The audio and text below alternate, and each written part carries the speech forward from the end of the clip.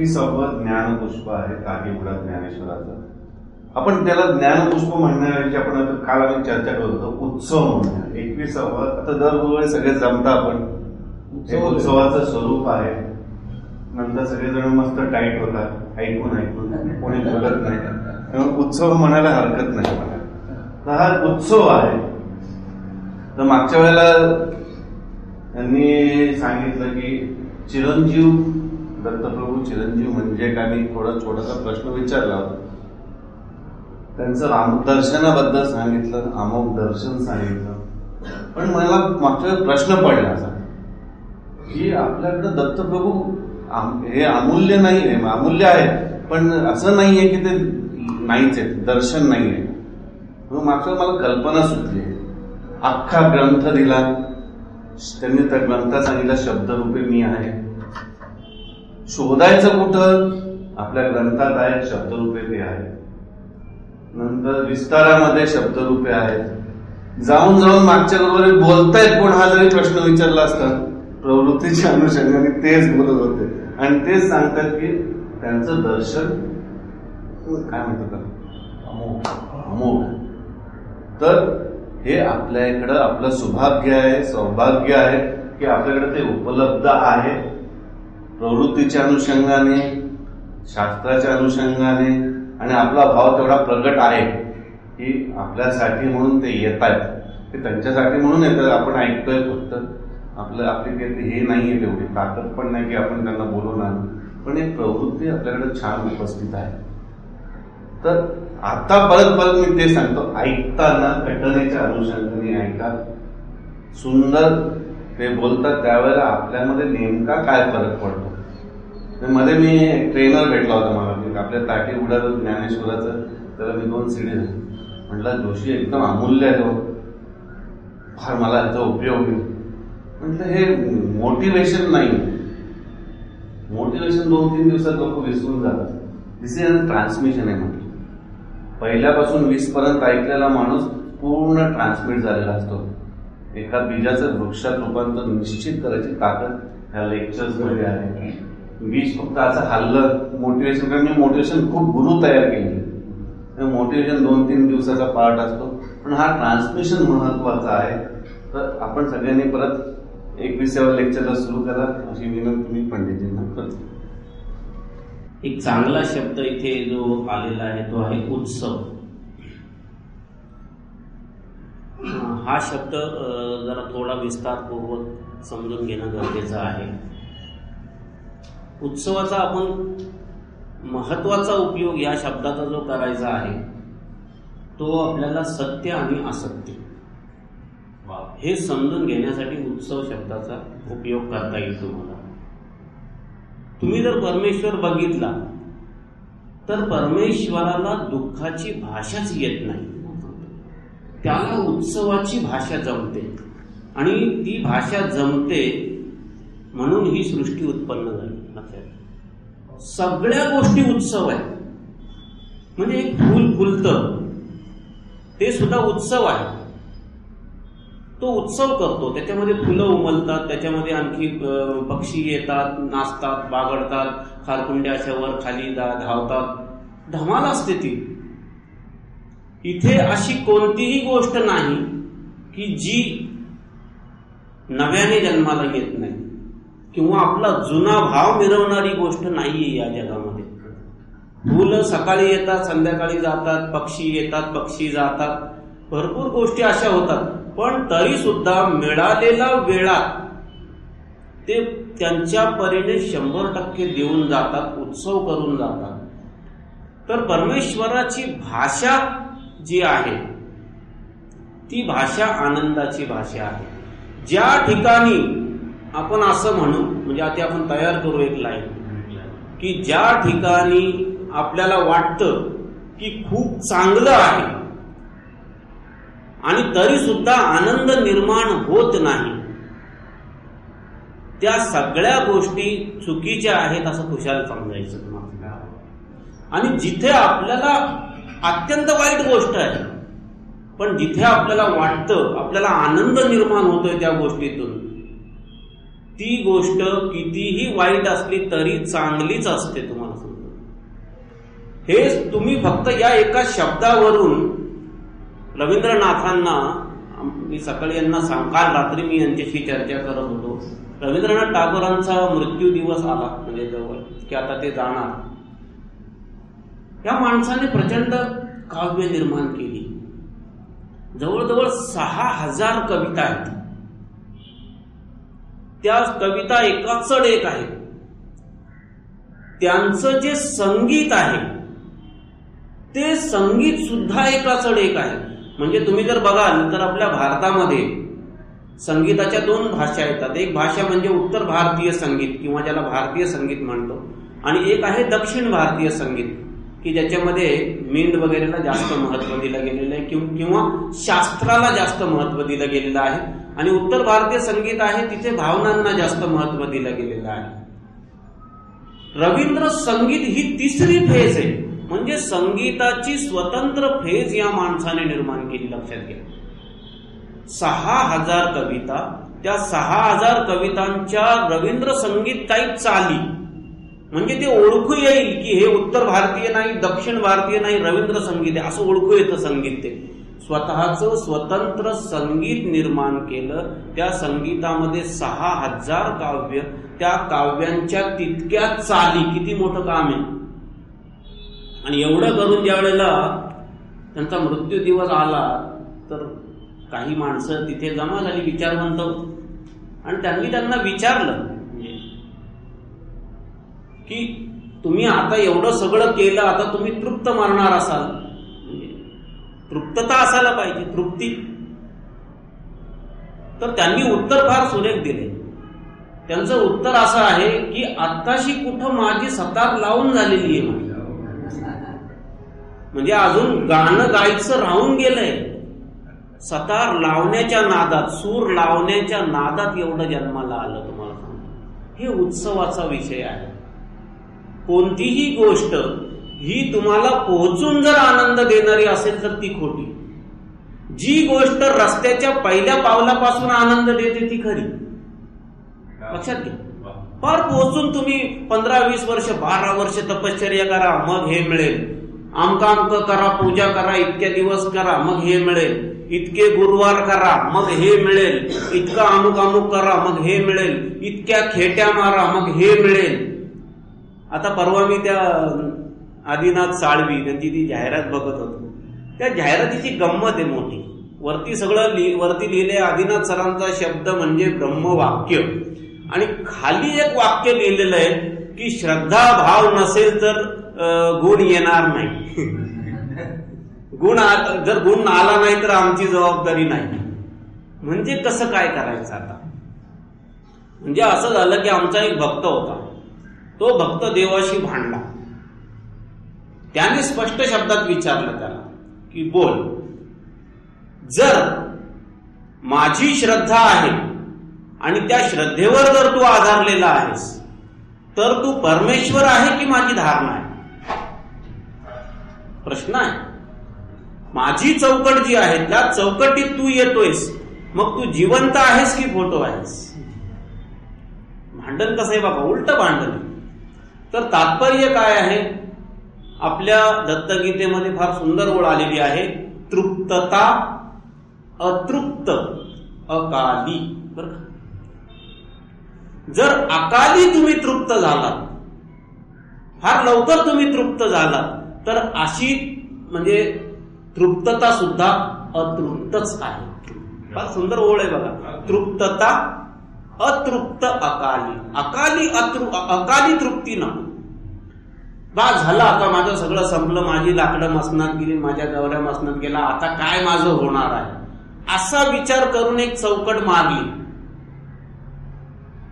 पहिला मुद्दा हे आहे की एवढ्या काळात जे घडलंय माझ्या बाबतीत समजा त्याने मी खरोखर संतुष्ट आहे की मी संतुष्टी मानतोय? दोन विषय. एक असं आहे की संतुष्टी मानणं पर्यायच नाही. आता काय आता करणार आहे? काय दिवे लावणार आहे आता तू? म्हणजे खच्चीकरण स्वतःच स्वतः करून घ्यायचं. माझ्या हातून काही होणार नाही म्हणायचं. परंतु एक रवींद्रनाथ टागोर आहे त्यांना विचारलं तुमची जात कुठली? तुमचं गोत्र कुठलं? फार सुंदर शब्द आहेत तुम्हाला सांगतो. तुमची जात कुठली? तुमचं गोत्र कुठलं? त्यांनी उत्तर दिलंय उत्सव आमार जाती. ते उत्सव ही आमची जात आहे आनंद अमार गोत्र म्हणजे आमचं गोत्र जर विचारलं तर ते आनंदाचं गोत्र आहे. आणि उत्सव ही आमची जाती आहे. जिकडे जाईल तिकडे उत्सव निर्माण करणार. असा एक किस्सा सांगितला जातो की एक माणूस मृत्यू पावला. एक ही घटना पादऱ्याविषयी आहे. एक पादरी जो मोठा पोप होता तो मृत्यू पावला आणि वर गेला. वर गेल्यानंतर त्याने त्याला स्वर्ग मिळाला. त्या स्वर्गामध्ये प्रवेश केला त्याने. आणि बघतो तर काय की तिथे एकदम शुकशुकाट. काही आनंद नाही काही नाही एकदम शांत सगळं. त्याला आश्चर्य वाटलं. स्वर्गामध्ये आल्यानंतर हे एवढी भयान शांतता. सगळेजण आत्ममग्न आत्मलीन नाही का? रसलीन म्हणजे आत्मोपास्ती या धर्माला अनुसरून सगळे सगळे आपल्या आतमध्ये शांतपणे बसलेले. तो म्हटला परत येऊन बाहेर बघतो बोर्ड बीड का चुकला का काय म्हणजे स्वर्गाऐवजी म्हणजे काय? दुसरीकडे आलो का? बघतो तर नाही म्हणजे स्वर्गच लावलेली पाठी मग म्हणे स्वर्ग पाठी लावली आहे मग त्याला उत्सुकता लागून राहिली. तो म्हटला जी मोठी मोठी मंडळी होऊन गेली म्हणजे आता संत मंडळी मोठी मोठी ज्ञानेश्वर आहे नाही का? त्याच्यानंतर बुद्ध आहे महावीर आहे धरदृष्ट आहे. कुठेही ही मंडळी म्हटला. म्हणजे तो म्हटला नाही ती इकडे नाही म्हणला म्हटलं, ती मंडळी इकडे नाही? म्हणे नाही म्हणे त्यांनी सांगितलं की आम्हालाच वर्ग नको. मग कुठे आहे? तर म्हणले इथे नाहीये हे माहिती आहे बाकी कुठे आहे हे विचारू नका. तर म्हणला ठीक आहे मला एक माझी इच्छा आहे की मी स्वर्गात जायचं आहेच मला एक नरकाचं दर्शन मला घडवा. तो तिकडे नरक बोर्ड लावला होता आणि प्रचंड उत्सव चालू होता. खूप आनंदात लोक मग्न. मग त्यांनी विचारलं अरे ते ज्ञानेश्वर ते महावीर त्यानंतर हे ते कुठे आहेत ते बुद्ध ऐका आहे इकडेच आहे म्हणले सगळे. म्हणजे मग ते इथे आल्यानंतर म्हणले ते आले म्हणून तर उत्सव सुरू झालाय. त्यांचं म्हणणं असं आहे म्हटले की स्वर्ग आणि नरक हे देवतांनी आम्हाला द्यायचे नाही. आम्ही निर्माण करण्याच्या जागा आहेत त्या. क्या बात. त्यांचं म्हणणं असं आहे की स्वर्ग नरक हे आम्हाला फळ म्हणून देऊ नका. आम्ही निर्माण करू. आणि म्हणे म्हणून या हट्टाने म्हणे ते नरकात आलेत. आणि आज नरकामध्ये दिसतंय तर स्वर्गीय वातावरण आहे. आणि इकडे स्वर्गामध्ये बघितलं तर एकदम नरकाचं वातावरण आहे. तात्पर्य असं आहे की उत्सव ही जी भाषा आहे ही उत्सवाची भाषा आपल्याला पहिल्या सेकंदापासून सुरू होऊन अंतापर्यंत पुरणारी आहे एक. दुसरा मुद्दा ही कसोटी. तुम्हाला आनंद होतो म्हणजे काय होतं हे तुम्हाला सांगायची गरज नाही. ही फुटपट्टी प्रत्येकाच्या आतमध्ये आहे. ही फुटपट्टी जर व्यवस्थित वापरली उत्सवाची आपण तर मला वाटतं बरेचसे प्रश्न तुमचे तुम्ही घरचे कोणतेही प्रश्न आणायचे आणि त्याला फक्त असा विचार करायचा की आनंद होतोय का मला? जर आनंद होत नाही जबरदस्ती लादलं जात आहे माझ्यावरती तर ते चुकीचं आहे. आता गंमत झाली मी माझ्या मुलीला इकडे त्या हैदराबादला सोडायला गेलो. तिथे गेल्यानंतर काय झालं की ज्या पुण्याच्या वगैरे मुली होत्या त्या लगेच सगळ्या भराभरा भराभरा एकत्र आल्या. म्हणजे आणि मग ते सुरू केलं मग त्यांनी. मग त्यांचे आई वडील सगळ्यांचे पॅरेंट्स आले होते. मग प्रत्येक जण ते ग्रुप करा तुमचा हे करा आपला पुण्याचा ग्रुप अमका ग्रुप तमका ग्रुप हे ग्रुप ते ग्रुप लगेच सुरू झालं त्यांचं. आमची मुलगी पण मग त्याच्यामध्ये मग मग ही पण थोडीशी भावनिक आहे. शेवटी आई आहे. तिने पण सुरक्षा. मग त्या सुरक्षेला अनुसरून मग म्हणजे तुझ्या ते मोठे मोठे रूम्स आहेत सगळे ते मग एका रूममध्ये दोघ जणी अशा आहेत त्या. तर मग तिने लगेच सांगितलं नाही मग तू ओळखीची बघ तुझ्या तू तुझ्या ओळखीची बघ तू तुझ्या हे कर. ते सगळं मी ऐकून घेतलं माझ्या मुलीला आयु- मी आयुष्यात कधी उद्देश केला नाही तुम्हाला सांगतो. मी त्या दिवशी तिला एवढंच सांगितलं मी तिला एक पत्र पण पाठवलं. मी तिला एकच ओळ सांगितली की ओळखीच्या जगापेक्षा अनोळखी जगत अनंत पट आहे आणि या ओळखीच्या नादात तू तुझं अनंतपट नुकसान करून घेशील म्हटलं मला ओळखी जर निर्माण करता येणार नसतील नव्या तर माझ्या ज्ञानाला काढीची किंमत नाही. कश माझ्या कुठल्याही भावनेला किंवा माझ्या ज्याला आपण म्हणतो क्षमतेला किंमत नाही. मी तिच्या क्षमतेवर बोट ठेवलं. म्हटलं मला तुझ्याकडून ही अपेक्षा नाही म्हटलं की हे असं उभारायचं हे असं करायचं त्याच्यात ते जगायचं ते आणि याच्या बाहेर बघायचं नाही वगैरे. हे चालणार नाही म्हटलं. मला आनंद वाटेल म्हटलं की तू नवीन तुझं जग इथं विस्तार एवढी सुंदर जागा मिळालेली आहे तुला. आणि तू पुन्हा त्याच खुराडात म्हणजे घरातून निघालेली आणि तोच खुराडा इथे परत तर काही उपयोगाचा नाही. मी तिला सांगितलं की असं नाही चालणार. नाही त्यावेळेला ही म्हटली नाही नाही तसं नाही तसं नाही. म्हटलं तसं नाही नाही तसंच आहे म्हटलं.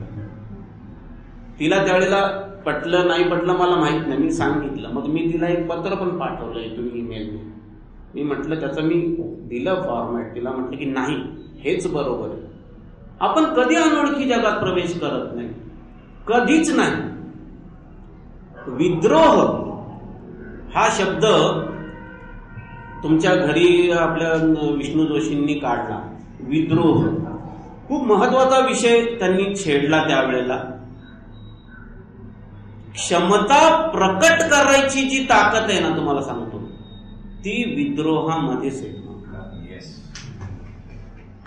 तुमच्या आतमध्ये जर विद्रोह नसेल तर तुम्ही क्षमता प्रकटच करू शकत नाही ते लहान मुलाचे आता तर आमच्या म्हणजे साडूचा मुलगा आहे ते छोट त्या मुलाचा मुलगा छोटा त्याचे ते आम्हाला काही क्लिप सध्या पाठवत होते.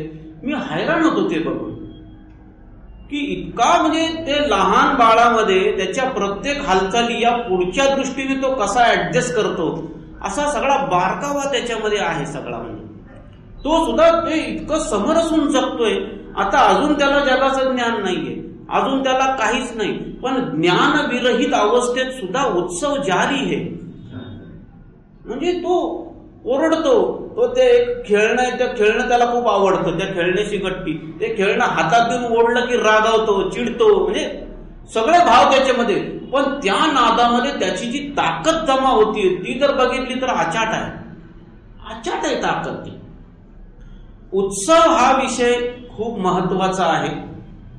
जर आपण इथे आलो आणि इथे आल्यानंतर जर आप काही दिवसानंतर आपल्या सगळ्यांचे चेहरे अगदी विचार मग्न म्हणजे काप भुशुंडीसारखे असे जर झाले आणि अशा भुवया मोठ्या मोठ्या झाल्या तर आपण चुकीच्या जागेवर आलो असं मला स्पष्टपणे म्हणावंसं वाटतं तुम्हाला. स्पष्ट आहे. त्याचं कारण असं आहे की आपण मूलभूत विषयांवर चर्चा करतोय. मूलभूत विषयांवर चर्चा करताना गंमत अशी आहे जी गोष्ट मुळावर घाव घालते जी गोष्ट मुळावर घाव घालते त्याच त्याचा पहिला अर्थ हा असतो की आता त्याची पानं फुलं फळं आता नाही उपयोगाची. तुम्ही म्हणाल की खालून मूळ पण कापायचं आणि वरून पानं पण शिल्लक राहिली पाहिजे तसं इथे घडणार नाही. स्पष्ट पाहिजे सरळ पाहिजे मी जर चांगल्या शिव्या देतोय माझी असेट आहे. मी जर चांगलं वचन बोलतोय माझे चांगलं वाईट हा विषयच आपल्यावर आधारलेला आहे तुम्हाला सांगतो. या जगात चांगलं वाईट असं काहीही नाही. ही गोष्ट विवेकानंदांनी सुद्धा त्यांच्या हयातीत मांडलेली आहे. त्यांनी स्पष्टपणे म्हणजे लोकांना हजार लोक जमली होती त्यांच्यासमोर. आणि हजारो लोकांमध्ये विवेकानंद हे वाक्य बोललेले आहेत की मला इथे कुणीही शंभर टक्के चांगलं काय आहे आणि शंभर टक्के वाईट काय आहे हे जर मला तुम्ही सिद्ध करून दाखवलं तर मी तुम्हाला वाटेल ती पैल लावायला तयार आहे. त्यांच्याशी एकही माणूस पैल लावायला आला नाही. एक जण आला तो म्हणला एका माणसाचा एक दुसऱ्या माणसाने खून केला वाईट की चांगलं? बघा ना शंभर टक्के वाईट म्हणजे नाही. शंभर टक्के वाईट मग सगळ्यांनी वाईट म्हटलं पाहिजे. पण प्रॉब्लेम असा आहे की त्या माणसाने ज्याला मारलं होतं तो बऱ्याच लोकांचा दुश्मन होता. आणि तेवढी लोक याला आशीर्वाद द्यायला आली होती याच्या घरी की बरं झालं त्याला हाणलं म्हणून. तशी गंमत आहे बघा. म्हणजे ही चांगली बाजू आपल्याला दिसली नाही. आपल्याला काय दिसलं फक्त की नाही यांनी चाकू घेऊन भोसकलं अरे पण भोसकलं ठीक आहे पण त्याचे दुश्मन होते काही. त्या दुश्मनांनी ह्याला त्याच वेळेला आशीर्वाद प्रदान केलेला आहे. तर थोडक्यात इथलची जी कर्माची संकल्पना आहे ही मिश्र संकल्पना आहे. लाईन लक्षात घ्या. कर्माची संकल्पना जी आहे ती मिश्रित संकल्पना आहे अजड संकल्पना आहे. आजड म्हणजे सुख दुःखाचं मिश्रण असलेली संकल्पना आहे. जर कोणतंही कर्म शंभर टक्के शुद्ध आणि शंभर टक्के अशुद्ध नाही. शंभर टक्के अशुद्ध पण नाही. मग आपण चांगलं कशाला म्हणतो? आपण तुलना करतो. त्यातल्या त्यात साठ टक्के चाळीस टक्के असा भेद. तो सुद्धा परिस्थितीवर आधारलेला असतो. परिस्थिती बदलली की त्या गोष्टी सुद्धा बदलतात तुम्हाला म्हणतो. एखादा माणूस आहे एक पत्नीचं व्रत घेतलेले समजा. परिस्थिती नाहीये. मला एक माणूस स्पष्ट बोलला एका ठिकाणी. तो म्हटला ऐश्वर्या राय अभिषेक बच्चनची पत्नी आहे. मला म्हटलं. मान्य म्हण विश्वसुंदरी आहे स्वतःची पत्नी. पण उद्या अशी एखाद्या कुठल्या तरी कातोडी प्रदेशात गेला तो त्याला एक सुंदर बाई दिसली समजा. त्या बाईने सांगितलं की मला तुझ्याबरोबर रथ व्हायचंय. ऐश्वर्या रायने परमिशन दिली. असं म्हणतोय काय होईल हो? परिस्थिती कशी निर्माण होते त्याच्यावर त्याचं यश अवलंबून आहे. त्याचं लगेच डोकं जे आहे ते सौंदर्याकडून वेगळ्या दिशेला धावणार तुम्हाला सांगतो. आपल्याकडे परिस्थिती तशी नाहीये. म्हणून आपण चांगल्या वाईटाच्या व्याख्या निर्माण करतो. लक्षात घ्या काय हे जरा विचित्र आहे थोडस. आपल्याकडे परिस्थिती तशी नाहीये म्हणून आपण चांगल्या वाईटाच्या व्याख्या निर्माण करतो. एक असा किस्सा सांगितला जातो की एक माणूस ट्रेनमधून चालला होता. गमतीशीर माणूस होता. एक ते पूर्वीचं नाही का फर्स्ट क्लास कंपार्टमेंट दोघच जण असायचे असं ते. कंपार्टमेंट तसं ते बुक समोर एक स्त्री आणि आता ही एक पुरुष इथे बसलेला. आता दो, दोघच जण त्याच्यामध्ये. अनोळखी. त्याने लगेच सांगितलं की आता आपण दोघच आहोत. आपल्याला काय हरकत आहे एकमेकांची सोबत करायला? बाई पतिव्रता. बाईने लगेच शस्त्र उपसलं. म्हटली की काय म्हणताय? म्हणली तुला काय अक्कल आहे का नाही? मी काय तशी बाई आहे का? तो म्हणला हजार रुपये देतो. अजून भडकली. तू माझी किंमत करतोय हे करतोय ते करतोय. दहा हजार देतो. तू जी पहिली जी लँग्वेज होती ना तिची तू माझी किंमत करतोय ती थोडी कमी झाली लक्षात एक हजारावरून दहा हजारावर गाडी गेली लँग्वेज लगेच कमी झाली. नाही नाही असं नसतं तसं नसतं. तुम्ही मला वेगळं समजता. म्हणजे लँग्वेज बदलली. त्याच्यानंतर गाडी लाखावर गेली. आणि लाखावर गेल्यानंतर ती तयार झाली. तयार झाल्यानंतर हा म्हणला नाही आता एकच हजार मग एक हजार म्हटल्यानंतर मग तो म्हटला गंमत बघा. ती एक हजार म्हटल्यावर परत उचकली बाई. तुला तू काय समजतो? म्हटलं मी आता व्यवस्थित समजतो. आता फक्त भाव शिल्लक राहिलाय बाकी सगळं समजून परिस्थिती आपल्याला नाचवते. परिस्थिती आपल्याला चांगलं वाईट करायला भाग पाडते तुम्हाला सांगतो मी. आपल्या जवळ तशी परिस्थिती निर्माण होत नाही. म्हणून आपण त्या विषयापासून लांब आहोत. अदरवाईज असं नाहीये की एखादी परिस्थिती समोर आली ना आपण त्याला त्याच मूडमध्ये फेस करतो. असं कधीही घडत नाही. बऱ्याचदा असं आहे की मानसोपचार तज्ज्ञांनी हे सिद्ध केलेलं आहे की कोल्ह्याला द्राक्ष आंबट या न्यायाने म्हणजे एखादी गोष्ट जेव्हा हाती येत नाही आपल्या किंवा एखादी गोष्ट ज्या वेळेला आपल्याला कठीण पडते मिळवायला तेव्हा आपण तिला वाईट या सदरात टाकून देतो. पटकन सरळ सिद्धांत आहे तुम्हाला सांगतो मी.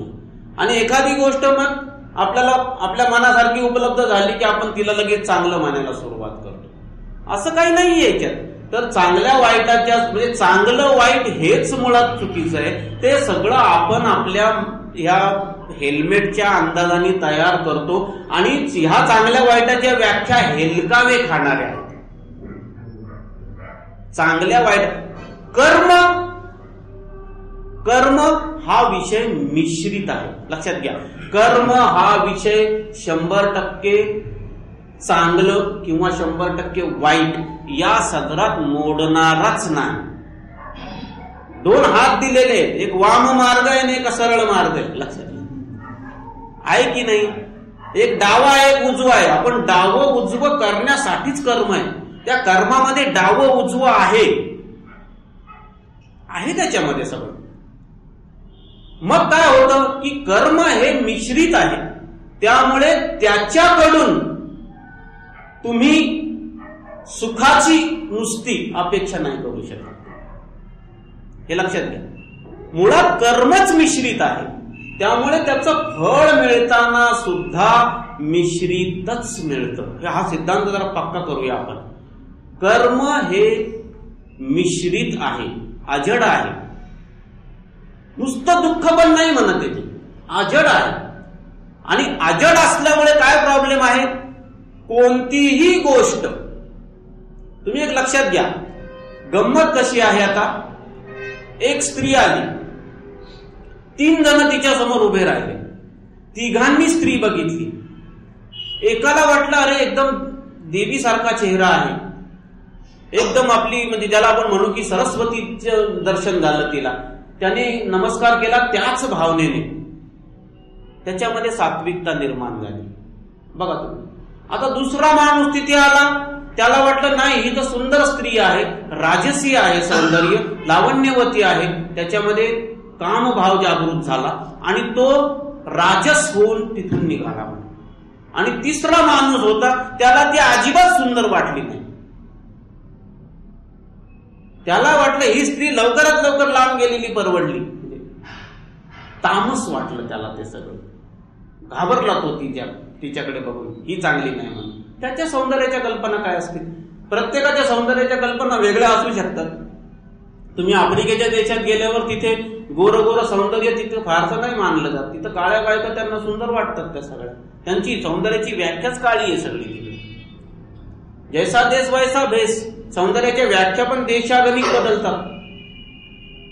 तुम्ही मोठा विचार ज्या वेळेला करता त्यावेळेला हे लक्षात येईल तुम्हाला की या जगामध्ये कर्मामध्ये ही पात्रताच नाही की तुम्हाला शंभर टक्के आनंद देईल लक्षात घ्या का? कारण कर्मच अजड आहे. कर्मच जर सुख दुःख मिश्रित आहे तर त्याचं फळ तुम्हाला नुसतं सुख किंवा नुसतं दुःख दोन्हीही पद्धतीने मिळू शकत नाही.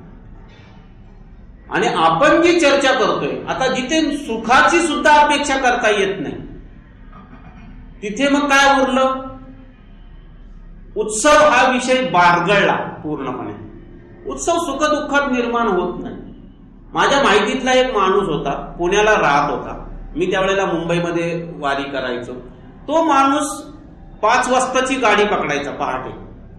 कुठली पुण्यावरून एक गाडी जाते बघा पाच का सहा? हा? साडेपाचला काहीतरी जाते ती गाडी. आता कितीला आहे मला माहीत नाही. जवळजवळ साडेपाचला गाडी निघते ती त्या गाडीत बसायचा तो त्याच्या आधी उठण्यासाठी त्याला चार वाजता उठायचा तो. चार वाजता उठून तो गाडी पकडून जाणार परत तो येताना तो रात्रीचे बारा व्हायचे त्याला जेवेपर्यंत. म्हणजे तो बारा ते चार या चारच तास घरात असायचा. ते चारही तास झोपेत होते त्याचे. आहे की नाही? बाकीचा सगळा वेळ सकाळपासून संध्याकाळपर्यंत म्हणजे पूर्ण म्हणजे पुढच्या पाच वाजल्यापासून गाडी सुरू व्हायची तर बारा वाजेपर्यंत. सगळी ती. असं त्याचे जवळजवळ पंचवीस वर्ष तो अपडाऊन चाललेलं होतं. म्हणजे आता डेक्कनमध्ये पण तुम्हाला अशी माणसं खूप सापडतील की खूप जुने जुने आम्ही त्या वाऱ्या केलेल्या आहेत समजा. तसं तो माणूस. त्याला म्हणजे शेवटी न राहून एकाने विचारलं की हा हा काय भाग आहे? उपभोगायची जागा कुठे? म्हणजे जे मिळवायचं ते उपभोगायची जागा कुठे आहे? त्याला काहीच कळलं नाही ते त्याला काहीच कळलं नाही. त्याची फक्त आणि फक्त मिळवायची भाषा चालू आहे. एक मिळवायचीच भाषा. आणि त्यासाठी सकाळी सुरू करतो चारपासून गाडी तर परत बारा पर्यंत चार तास झोपतो परत सुरू करतो. मिळवायचीच भाषा आहे ती सगळी. आणि त्याच्यात कुठली पण जागा अशी नाही की जिथे हा एक आनंद होईल त्याला किंवा काय होईल. काय नाही ना ठरलेलं रुटीन आहे तेवढं तर केलं पाहिजे. तीच माणसं भेटणार त्याच गप्पा मारणार तिथून पुढे गेला पुढे ते सगळं. आणि त्या रुटीन मध्ये तो इतका पिसला त्याला एकाने प्रश्न विचारला की पैसे आहेत बायको आहेत हे सगळं आहे घर चांगलं आहे. आणि हे काहीही त्याने उपभोगलं नव्हतं तुम्हाला सांगतो काहीच नाही.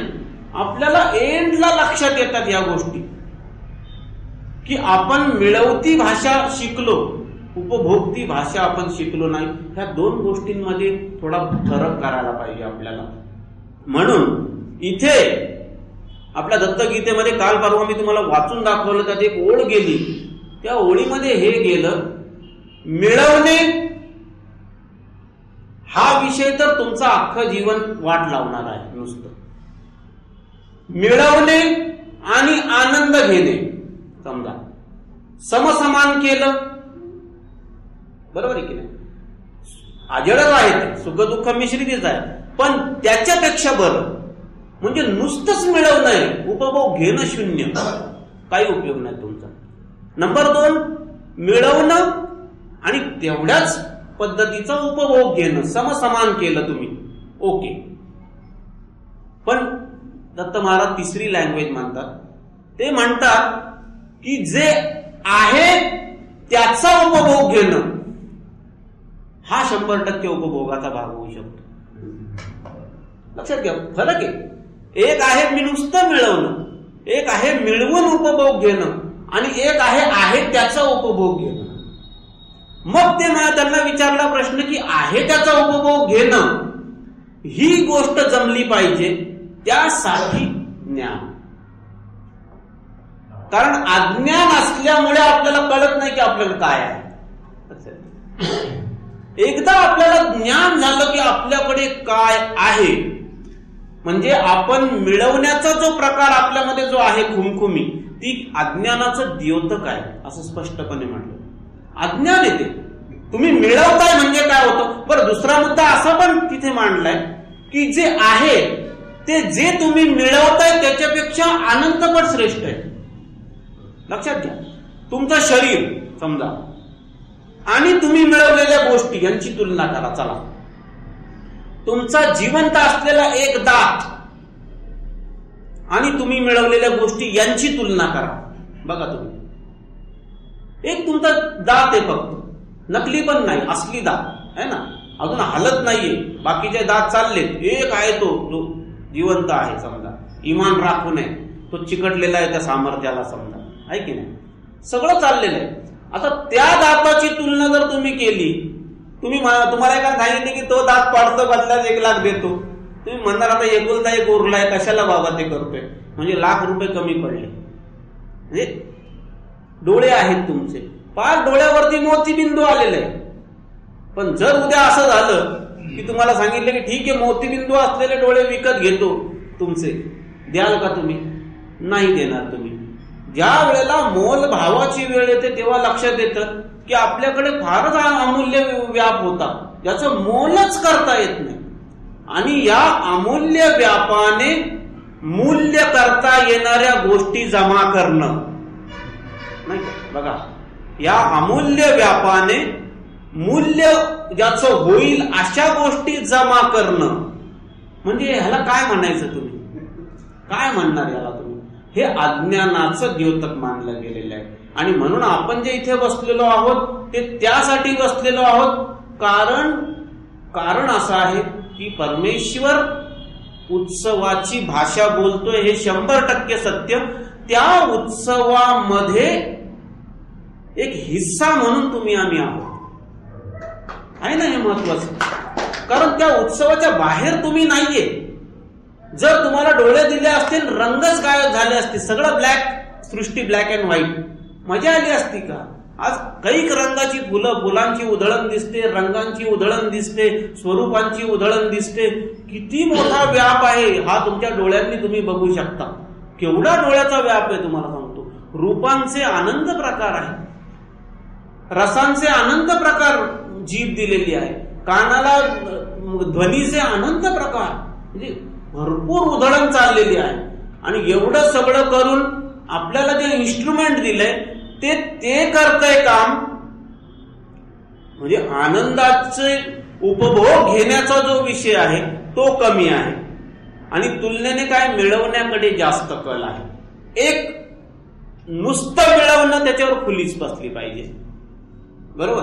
नुसतं मिळवणं त्याच्यावर खुली कारण उत्सवाची लँग्वेजच नाहीये त्याच्यामध्ये.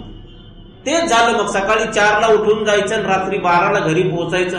बायको पण झोपलेली असते. सगळे पोरं झोपलेली असतात. काय तुम्ही करणार हो? आणि ते चार तास हा झोपतो कधी उठतो कधी जातो कधी?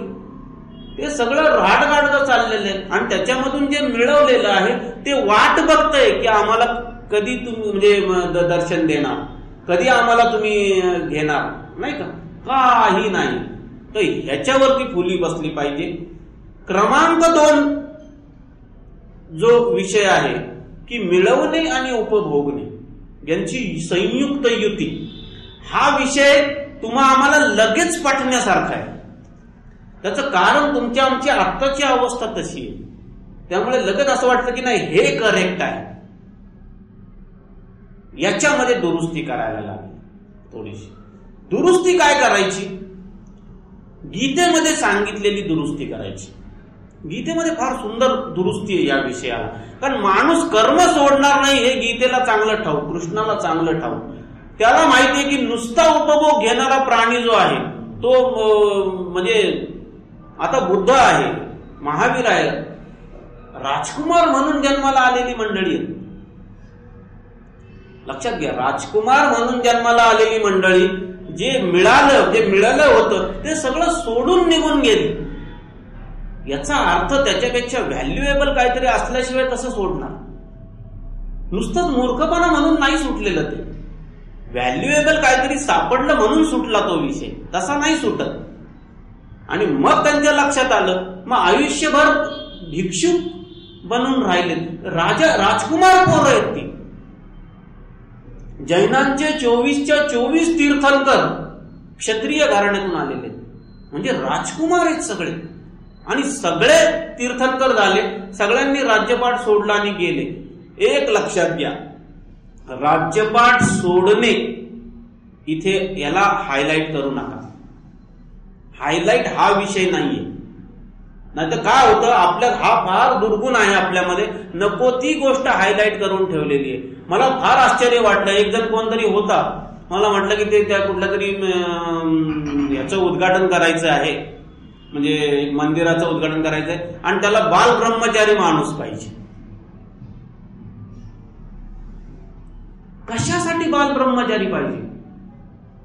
म्हणलं नाही नाथांचं मंदिर आहे आणि नाथांचा अनुभव बाल ब्रह्मचारी माणूस कशाला पाहिजे? मत्स्येंद्रनाथाचं जर उदाहरण घेतलं तर त्याला दोन मुलं झालेली आहेत. मीननाथ त्याचा मुलगा आहे. स्त्री राज्यात जाऊन त्यांनी अख्ख्या स्त्री राज्यावरती कामशास्त्राचा प्रभाव पाडणारा माणूस तो मच्छिंद्रन त्या नाथ संप्रदायाचं मंदिर उभारलंय तिथे माणूस बाल ब्रह्मचारी पाहिजे. बरं बाल ब्रह्मचारी पाहिजे. जर तुम्ही बघितलं तर आपल्या संपूर्ण जगामध्ये जर मोठ्या जाती कुठल्या असतील तर त्याला एक ख्रिश्चन जात आहे आणि एक मुस्लिम जमात आहे. ह्या खूप मोठ्या जमाती ख्रिश्चन तर वन थर्ड आहेत.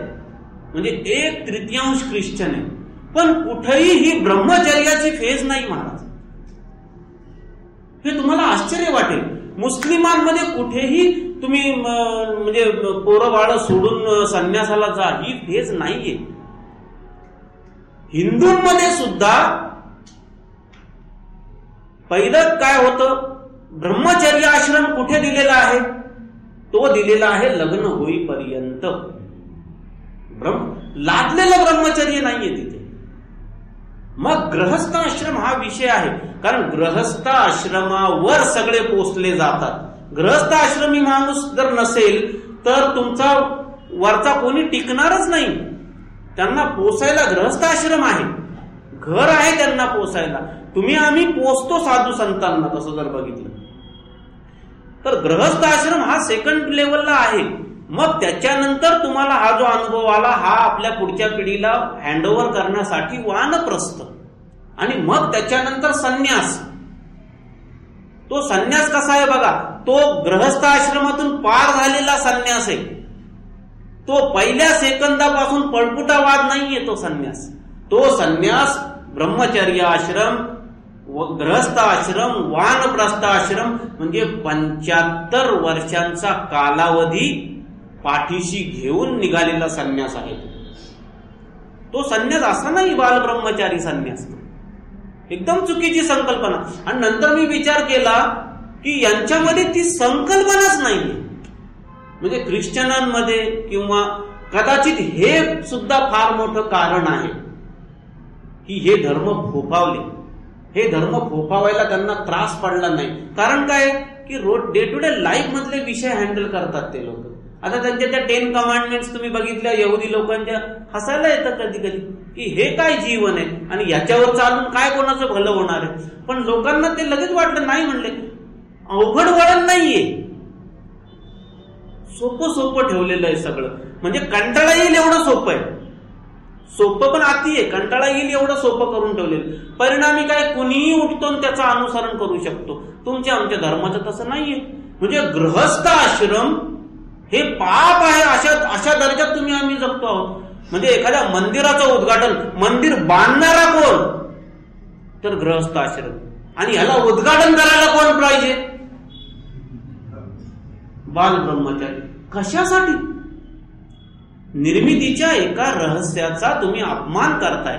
निर्मितीच्या एका रहस्याचा तुम्ही स्पष्टपणे निषेध करताय असा त्याचा अर्थ होतो. परिस्थिती बदलली की नीती नियम बदलायला पाहिजे तुम्हाला म्हणतो गोरक्षाने जे शास्त्र लिहिलं त्याच्यात स्त्रीचा निषेध केला. त्याची कारण तुम्ही तपासायला पाहिजे होती. त्याची कारणं जर तपासली तर त्याच्या वाट्याला त्याच्या ज्या गुरुचं जीवन जर तपासलं तर ते माया मच्छिंदर असा शब्द आहे. मच्छिंद्रनाथाला मायेमध्ये भरकटणारा म्हणून संज्ञा आहे. नुसता मच्छिंदर म्हणत नाही. माया मच्छिंदर. म्हणजे तो मायेमध्ये वावरलेला नाथ आहे अक्षरशः. तुम्ही कानिपनाथ बघितलं तर सोन्याचा मुकुट घालून हिंडणारा नाथ येतो म्हणजे राजयोगी कानिपनाथ सातशे सातशे शिष्य घेऊन हिंडायचा. एक सुवर्ण घालून हिंडायचा कानात बाळी सोन्याची म्हणजे डोक्याला मुकुट सोन्याचा. असा नाथ बघितला तुम्ही कधी? पण इतक्या वाईट संकल्पना आपण अधोरेखित करतो चांगलं अधोरेखित कधी करत नाही. हा जो गालिबनाथाच्या जीवनामधला उत्सव आहे हा आपण अधोरेखित नाही केला. हा जो मच्छिंद्रनाथातल्या जीवनामधला जो मायेचा जो एक ज्याला आपण म्हणू की उत्सव आहे म्हणूया. तो आपण अधोरेखित नाही केला. आणि काय अधोरेखित केला आपण? ब्रह्मचारी पाहिजे. बाल ब्रह्मचारी पाहिजे. लग्न नाही केलं पाहिजे. म्हणजे काय झालं? की तुम्ही लोकांना सजा देण्याच्या उद्देशाने सगळं चालवलेलं आहे सगळं. ही सजा आहे त्याला. या जगामध्ये मागच्या वेळी पण आपण हा विषय घेतला. पुनरुक्ती पुन्हा करावी या विषयाची. की तुम्ही आम्ही बरे. की खर तर वासनेतून कामातून तुम्ही आम्ही मुक्त आहोत. पण एखादा ब्रह्मचारी माणूस चोवीस तास स्त्री त्याचा पिच्छा करते तुम्हाला माहीत नसेल ट्वेंटी फोर आवर मी बऱ्याच आश्रमांमध्ये राहिलेलो आहे आणि आश्रमांमध्ये तुम्ही जर कधी राहायची वेळ आली तर तुम्ही अवाक व्हाल. की जगातले जास्तीत जास्त बलात्काराचे प्रकार किंवा व्यभिचार हे आश्रम संस्थांमध्ये घडतात. त्याचं कारण आहे की तिथं दमन आहे या गोष्टीचं. ह्या विषयाची बंदी ज्या विषयाची बंदी त्याच विषयाला हात घालतो आपण. तुमच्या पोराला सांगा तुम्ही की त्या तिसऱ्या डब्याला हात लावू नको. भले त्याला सांगा की लाडू आहेत पण तिसऱ्या डब्याला हात लावून तिसऱ्या डब्याला हात लावू नको हे तुमचं वाक्य भयंकर डेंजर आहे. तो रात्री उठेल सगळे शांत असताना त्या तिसऱ्या डब्याला हात लावेल. निषेध जिथे आहे तिथे तुम्हाला प्रेरणा मिळते. जिथे निषेध येतो तिथे प्रेरणा जन्माला येते. हे वाक्य परत अंडरलाईन करतो मी. जिथे निषेध येतो तिथे प्रेरणा जन्माला येते. ती गोष्ट करायची इच्छा जन्माला येते तिथे. ही गोष्ट करू नको म्हणजे ही गोष्ट कर असा त्याचा अर्थ. होतो मी एके ठिकाणी गेलो होतो तिकडे लोक काय पेढा खाणं सोडणार लाडू खाणं सोडणार. मग ते विचारतात तुम्ही मी त्यांना विचारलं की काय भानगड आहे तुम्ही? हे का सोडायला सांगता लोकांना? मग ते म्हणले की त्यांनी लाडू सोडायला सांगितले. एखाद्याने लाडू सोडला. मग काय होतं? त्याला जिथं जिथं लाडू दिसला तिथं ते ठिकाण आठवतो त्याला. म्हणजे त्या लाडू पाठी ते लाडू आठवलं की ठिकाण आठवतं? म्हणजे ती ठिकाण सारखं सारखं आठवावं म्हणून यांनी लाडू सोडायचा. म्हणजे त्या ठिकाणाचा आठव आहे की नाही? एखादी गोष्ट सोडणे म्हणजे भोगणं आहे. आणि गंमत आहे तुम्हाला सांगतो मी. की भोगणं जे आहे तुमचं आमचं भोगणं हे निष्कलंक आहे. का निष्कलंक आहे? कारण शारीरिक पातळीवरती व्यक्त होणार आहे. लक्षात घ्या. निष्कलंक आहे. शारीरिक पातळीवर व्यक्त होणारं भोगणं आहे तुमचं आमचं पण हे जे न भोगणं आहे हे मानसिक पातळीवर प्रचंड भोगणं आहे तुम्हाला सांगतो. इतका सूक्ष्म व्याप आहे या भोगण्याचा की तुम्हाला माहीत नाही की तुमच्या आमच्या सगळ्यांच्या बायका यांनी कैक रात्री भोगलेल्या असतात तुम्हाला सांगतो मी. माझी एका माणसाबरोबर चर्चा झालेली आहे विषयाची. व ब्रह्मचारी आहे. परंतु त्याला तेच व्यसन आहे फक्त आणि ते कुठं दिसत नाही त्याला. हेच व्यसन. कोणाच्या बायका आलं की तो इतका टक लावून बघणार. बरं ब्रह्मचारी माणूस आहे. त्यामुळे बाई बिंदास्त बायांना नजर कळते. नाही कळत असं नाही. पण असं जे आहे म्हणजे हे जे सूक्ष्म भोगणं आहे हे भयंकर घातक भोगणं आहे म्हणून इथं जी आपली जी दुसरी चौकडी आलेली आहे की मिळवणे आणि भोगणे. निस्ता उपभोगणे हा तर अत्युच्च दर्जा म्हणू आपण. त्याला जरा मोक्ष. नुसतं उपभोगणं इज इक्वल टू मोक्ष. लक्षात. त्याचा अर्थच मोक्ष आहे. कसं घडतंय? मग त्याची जी सुरुवात आहे नुसत्या मिळवण्याला काट मारायला लागेल. हा जो मधला भाग आहे सध्या तुम्ही आम्ही ह्या प्रांतामध्ये आहोत की मिळवणे आणि भोगणे. तर इथे एक दुरुस्ती करावी लागेल आपल्याला. कारण त्याशिवाय तो जो अर्धा भाग जो मिळवण्याचा जातोय तुमचा आमचा तो सुद्धा उत्सवात परिवर्तित होईल याची दक्षता घेण्यासाठी म्हणून. नाही का? मग तुमचं जे कर्म आहे हे मिळवणं जे आहे ते काम करता करता भोगणं कसं होईल असा विचार करणं गरजेचं आहे आता थोडस कारण नाही तर मजा नाही येणार मग तुम्हाला सांगतो. आता माझं कसं आहे माझं म्हणणं असं आहे की लोणावळा माझं डेस्टिनेशन आहे समजा. मी निगडीवरून निघालो. लोणावळा पंचेचाळीस किलोमीटर किती? पन्नास किलोमीटर. पंचेचाळीस किलोमीटर आहे. पंचेचाळीस किलोमीटर लोणावळा आहे. मी या पंचेचाळीस किलोमीटर वरून एक पाऊल टाकले. एक पाऊल टाकलं की नाही? मग एक पाऊल टाकलं तर मी असा विचार करतो की लोणावळा एका पावलाने कमी झाला करा उत्सव. मी तो विचार नाही करत आहे की पंचेचाळीस किलोमीटर लांब आहे. अरे असू दे ना लांब. पण एक पाऊल तर गेलो ना त्याच्याजवळ. असा विचार ज्या वेळेला येतो त्या वेळेला लोणावळा निगडी एवढा मोठा होतो. लक्षात घ्या सी अस्तित्व मोठं करूया आपण थोडस. पद्धत बघा कशी. अस्तित्वाला आधी तर मोठं करा. तुमच्या जवळ घेऊन या डेस्टिनेशन पॉइंट तो लांब मिळवण्यामध्ये डेस्टिनेशन लांब आहे. आणि म्हणून एक प्रकारे ते चुकीचंच आहे. डेस्टिनेशन पॉइंट जवळ पाहिजे. मग काय करायचं? सोपी प्रक्रिया. काय प्रक्रिया? सूर्य जाळतो. लांब आहे आपल्यापासून. प्रचंड लांब आहे. सूर्य जाळतो. अरे जाळतो सूर्य. त्याचं किरण येत आहे माझ्याकडे. किरणा किरण येत आहे आणि सूर्य येतो एकच झालं की नाही? त्याच्यासाठी तुम्ही सूर्यालाच कडेच गेलं पाहिजे. कोणी सांगितलं तुम्हाला? एक भिंग घेऊन या. त्या भिंगाला मधून ते सूर्याचं किरण घालवा. बसा कागद जाळत. तिथं पण जळतंय इथे पण जळतंय. ना काय प्रॉब्लेम आहे आपला? इथून सुरू व्हायला पाहिजे जळणं व्हायला पाहिजे ते. आपण काय करतो? आपण विझलेल्या गोष्टींना मिठी मारायचा प्रयत्न करतो. आपले सगळे अंगारे धुपारे विजलेले आहेत सगळे ते. राख अंगाला फासतो आपण. निखारा हातात घ्यायची ताकद नाही राहिली आपली तुम्हाला सांगतो. आणि निखारा हातात घेता येत नाही कारण वर्तमान आहे. राख ही भूतकाळाची असू शकते. राख आपलं नुसतं तिकडे राख आडवा पट्टा उभा पट्टा चाललेलं आहे सगळं अंग भस्मीभूत. अहो लावा ना अंगारा लावताय. ती बिचारा जळून गेलंय भस्मीभूत झालाय आपला भूतच तो. भस्मीभूत कसला आलाय तो? जे दिलं सरळ सरळ देवाने ते सुद्धा मलिन करत निघालेला आपला हा विषय. मग त्याच्यामधून मग तत्व शोधून काढणार. मग बारीक बारीक बारीक बारीक. मग काय? तर मग ही राग ह्या यज्ञकुंडातून निघाली. म्हणून ती पवित्र. मग त्या रागेच्या उत्पत्त्या कोणते आपले होते ते? त्या राखेच्या उत्पत्त्या अरे कसं काय पवित्र अपवित्राची भाषा तुम्ही करता? ते यज्ञकुंड त्याच्यातून पवित्र तर सगळं होतंय आता ते जर मुस्लिमाला सांगितलं त्याच्यासारखं अपवित्र काही नाही. ते जर ख्रिश्चनांना सांगितलं अजिबात यायचं नाही म्हणतील का? अपवित्र आहे ते. यज्ञातून आलेली राख नो आहे की नाही? सार्वत्रिक सत्य म्हणून मूल्यच मिरवत नाही ती गोष्ट. सार्वत्रिक दर्जाला तिची किंमतच नाहीये. तुम्ही आपलं स्वतःच एक छोटं छोटं जग घेऊन बसलेलं आहे छोटी छोटी आपली कल्पना घेऊन बसलेला आहे छोट्या छोट्या धारणा घेऊन बसलेल्या आहात.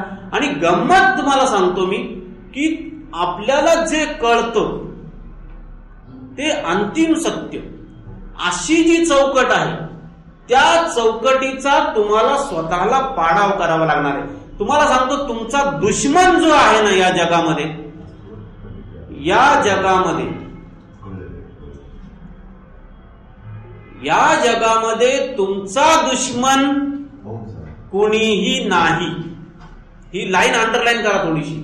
या जगामध्ये आपला दुश्मन दुसरा कोणी नाही. दुसरा हा शब्द नाही कोणी. मी माझा दुश्मन आहे. मीच ती चौकट निर्माण केलेली आहे. मीच माझ्या रोगाला कारणीभूत या जगात काय गरज पडली तुम्हाला सांगतो मी. शरीर जे दिलं गेलं तुम्हाला ते काही पद्धतीने चालणारं शरीर आहे. त्या शरीराच्या अनुषंगाने रोग बी घेत शरीर देताना रोग दिले गेलेले नाहीत. शरीर बाहेर आल्यानंतर त्याच्यानंतर तुम्ही आम्ही रोगाचा स्वीकार करायला लागलो आहोत. रोग हे उपजत दिले गेलेले नाहीये. नाही दिले गेलेले. मग ते कशावर अवलंबून आहे? तुमच्या खाण्यावर अवलंबून आहे तुमच्या पिण्यावर अवलंबून आहे तुमच्या राहणीमानावर अवलंबून आहे.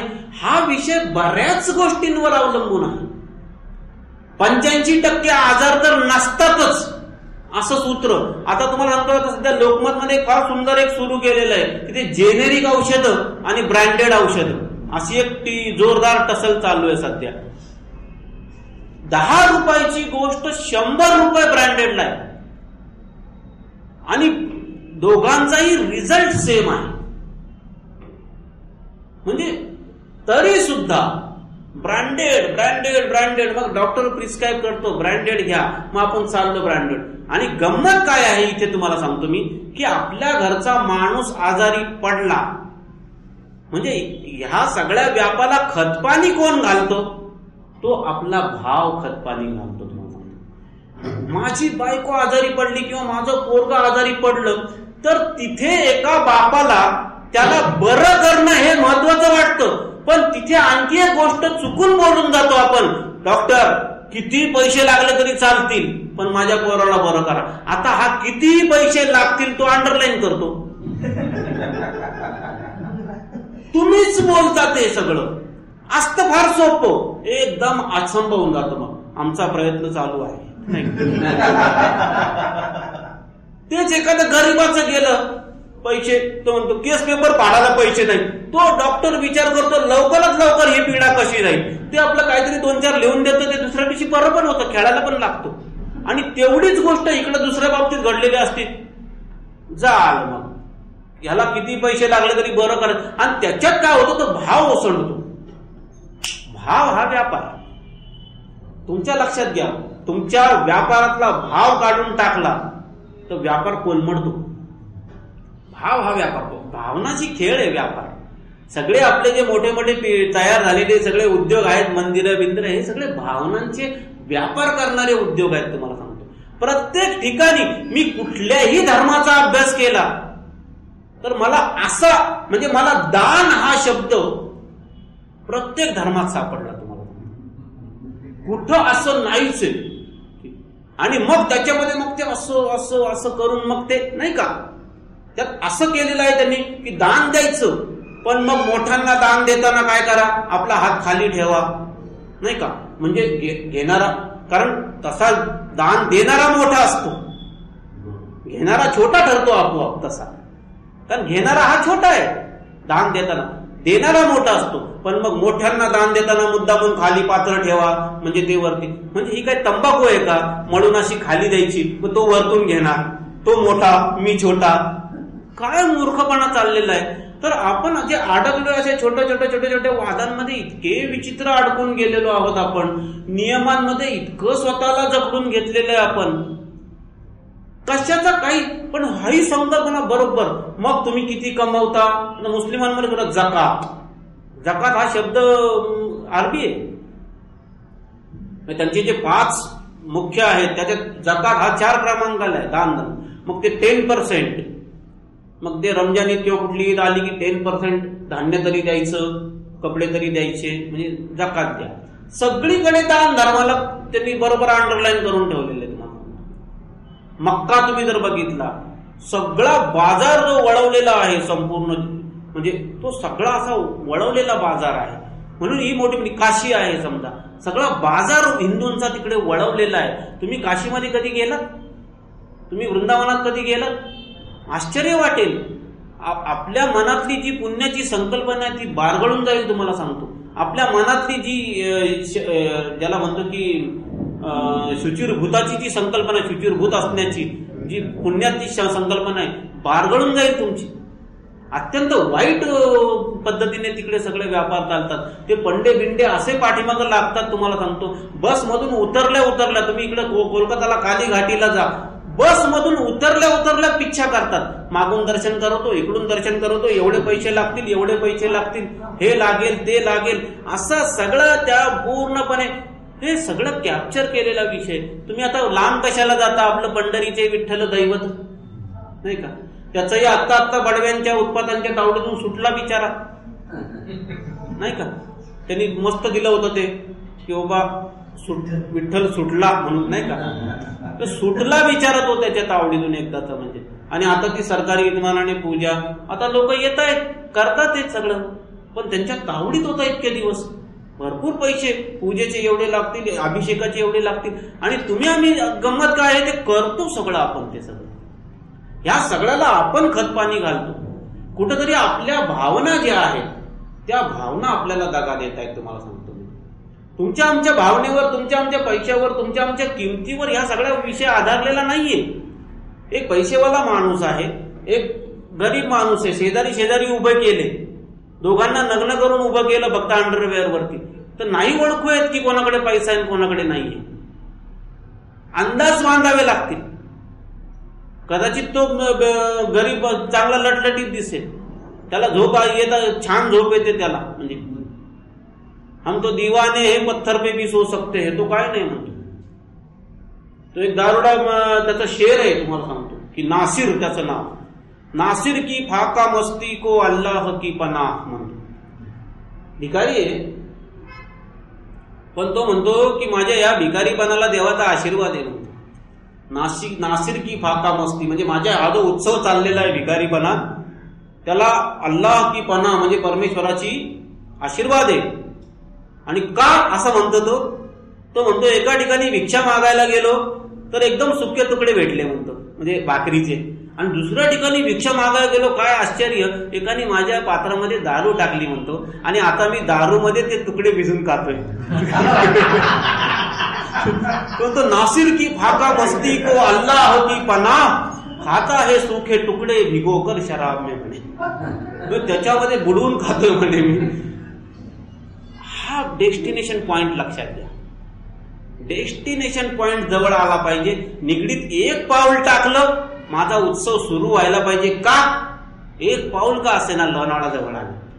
दुसरं पाऊल अरे लोणावळा जवळ आलं. लोणावळा जवळ आलं हा शब्द लक्षात ठेवा. लोणावळ्याला मोठं करा. पहिल्या पावलापासून लोणावळा का नाही सुरू होत बरं दुसरा मुद्दा मी हे म्हणतोय याच्यामध्ये तथ्य नाही का? चला मी असं नाही म्हणत की माना. माना नाही ही घटना. आहे मी म्हणत नाही की माना असं की एक पाऊल कमी झालं. माना नाही. एक पाऊल कमी झालं हे रिअल आहे. रिअल एक पाऊल कमी झालं.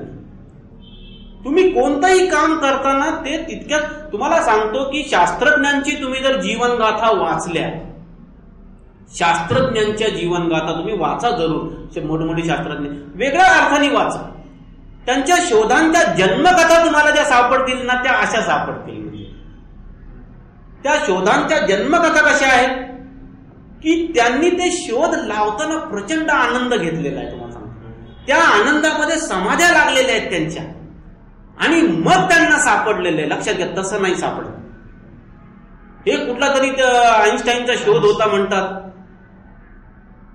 एकोणसत्तर का सत्तर वेळा तो फेल झाला. सेव्हन्टी वेळा फेल. आणि रोज येऊन तेच तेच करायचा तो. म्हणजे रोज येऊन तेच करायचा. तर ते त्याचे जे खालचे वैतागले ते ते म्हटले काय चाललंय? म्हटले. हाताखालची जी मंडळी होती सगळी हेल्पर रोज तेच तेच तेच तेच करायचं म्हणजे कंटाळा आला त्यांना हो. एकोणसत्तर वेळा फेल झालं गाडी. आणि मग ते सत्तर दुसऱ्या दिवशी हा परत एकदम नटून थटून म्हणजे परत आला तो पुन्हा पहिल्यापासून म्हणजे आशा भोसलेसारखं. आशा भोसलेला विचारलं होतं ज्यावेळेला तिची अकरा हजार गाणी म्हणजे ते गिनीज बुकला गेली तेव्हा तिला विचारलं की एवढी गाणी म्हणजे आणि सगळी एकाचड ही हिट आहे. म्हणजे असं हिट कसं जातं? तर तिचं उत्तर फार सुंदर आलंय त्याला. की मी रेकॉर्डिंगला गेल्यावर प्रत्येक गाणं पहिलं आहे असं समजून गाते म्हणजे उत्तर बघा कसं आहे? सुंदर आहे. मी पहिलं गाणं म्हणजे माझं मागचं पुढचं सगळं विसरलेलं आहे आता. म्हणजे या गाण्यावर माझं जीवन अवलंबून आहे. हे गाणं जर फेल झालं तर माझं गेलं कामातून. म्हणजे या दर्जाला बाई विचार करते. मग प्रत्येक गाणं सुपरहिट होणार ना? असं कसं नाही? नाही का? प्रत्येक गाणं सुपर त्याचं ते कारण आहे. समोर रसून आहे सगळं. रसरसलंय ते सगळं. आधी गायचं नंतर मग विचार करायचा की चाललं तर आपलं नाही तर जाऊ दे मरू माझा मूड नव्हता म्हणून सांगायचं. असं नाही ना. प्रत्येक गाणं समोर असून प्रत्येक गाणं पहिलं गाणं त्या दर्जाला इथे. म्हणजे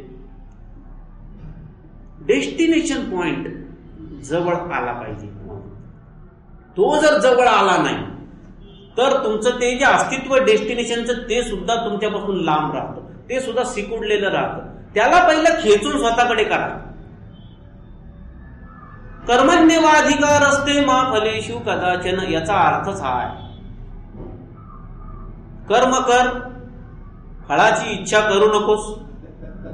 बरोबर? त्याचा अर्थच तो आहे. ते कर्म आनंद घ्यायला शिक पहिल्या सेकंदापासून.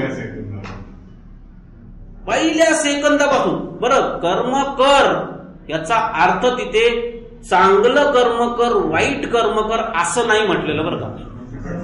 हा कृष्णासारखा धूर्त तुम्हाला सापडणार नाही कृष्ण भयंकर धूर्त. त्याचं कारण आहे जर मी इथं चांगलं कर वाईट कर म्हटलं तर अर्जुन पळून जाईल. कारण मारामारी करणं वाईट. आणि त्याला युद्ध लढायला लावायचंय. घटना वाईट करायला लावायची तुमच्या आमच्या दृष्टीने. हा मारायचंय. आणि आपल्या आप्त स्वकीयांना मारायचंय. ही चेष्टा नाहीये. आपल्या काका मामाला मारायचंय त्याच्यामध्ये. सगळे चुलत भाऊ बिलत भाऊ उभे त्यांना हाणायचंय त्याला. म्हणून त्याने कर्म कर. फळाची इच्छा करू नको. पण चांगलं कर्म कर वाईट कर्म कर. ह्या संकल्पना त्याला ठेवलेले नाहीये. त्याला कर्म कर फळाची इच्छा करू नको. पहिल्या सेकंदापासून सगळं ब्रह्मार्पण. सिद्धांत काय? सगळं ब्रह्मार्पण. म्हणजे मी जे करतोय ते परमेश्वराचा हात बनून करतोय परमेश्वराचा अवयव बनून करतोय. ह्याला म्हणतात निष्काम कर्मयोग. निष्काम कर्मयोग म्हणजे परमेश्वराचा अवयव होऊन काम करणं. याला निष्काम कर्मयोग म्हणायचं. तो तसा काम करतोय. त्यामुळे काय झालं मग? त्याच्यामुळे कर्मातून जड अजडाचा जो भाव आहे तो संपला. संपला ना पार त्याच्यातून. मिश्र फळ संपलं ना. त्याला त्यांनी सांगितलं अरे म्हणला तुला माहीत नाही. म्हणजे मोठ्या गप्पा. काय तर्क दिलाय तुम्हाला? अजब तर्क आहे. ते म्हणतो की तू जर आता जिवंत आहेस आणि आता जर तू जिंकलास म्हणला तर तुला जगात राज्य मिळणार.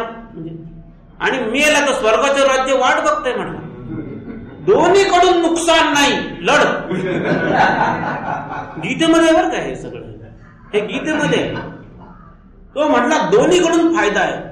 मेला तरी स्वर्ग म्हणजे स्वर्गाचं राज्य तुझी म्हणजे वाट बघतोय. आणि जिवंतपणी सुद्धा तू जर जिंकला तर जिवंतपणी स्वर्ग सुद्धा स्वर्ग आहे तुझ्या वाटेला. बघा आता. काय ती डिप्लोमसी आहे सगळी? कृष्णाने काहीच करायचं ठेवलं नाही.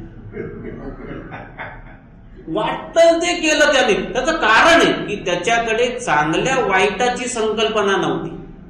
त्याच्याकडे प्राप्त परिस्थिती कशी आहे आणि त्याच्यावर उपाय काय आहे? आज ते उपाय नाही चालणार. गंमत आणखी एक आहे. गंमत आणखी आहे ती म्हणजे कृष्णाच्या पूर्वी. शास्त्र नव्हती. होती. कृष्णाने जी गीता सांगितली ती कृष्णाच्या पूर्वी होती का? कृष्णाच्या पूर्वी. गीता होती. नव्हती. कृष्ण बोलला आणि नंतर गीता लिहिली गेली. म्हणजे कृष्ण बोलल्यावर गीता झालेली आहे. म्हणजे कृष्णाने मागच्या कुठल्याही शास्त्रांचा आधार न घेता प्राप्त परिस्थितीत जे बरोबर ते बोलला आणि त्या परिस्थितीच्या अनुषंगाने ती जी बोललं गेलं त्याचं नाव गीता. म्हणजे याचा अर्थ असा आहे की गीता त्याला म्हणायचं जी वर्तमानकालीन असते. मी लक्षात घ्या.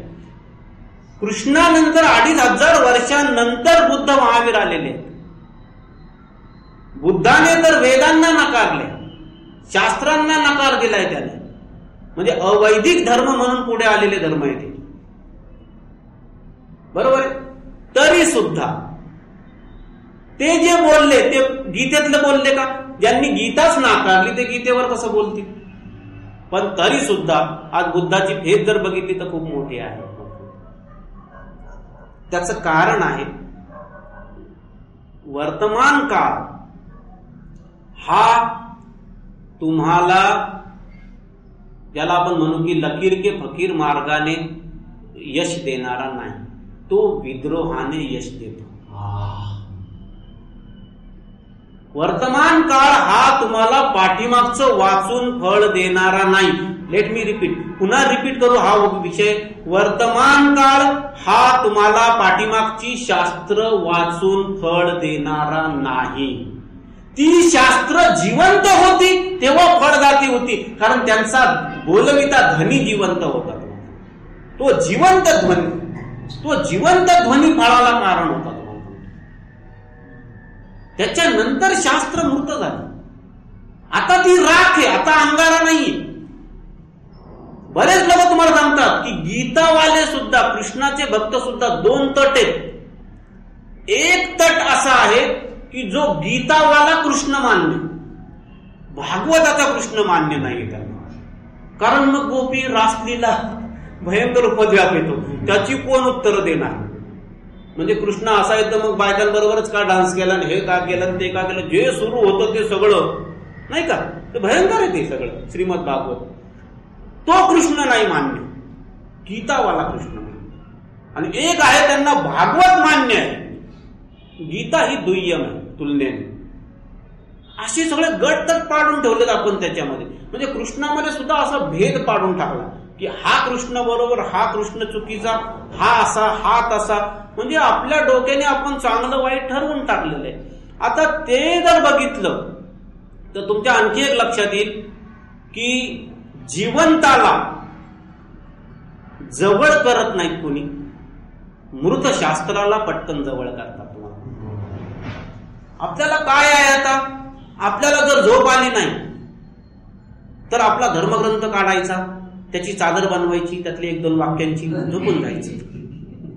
आपल्याला एखादा रोग झाला मानसिक आजार झाला आपला धर्मग्रंथ काढायचा त्यातल्या एक दोन गोळ्या दोन श्लोकांच्या त्या घ्यायच्या झोपून जायचं.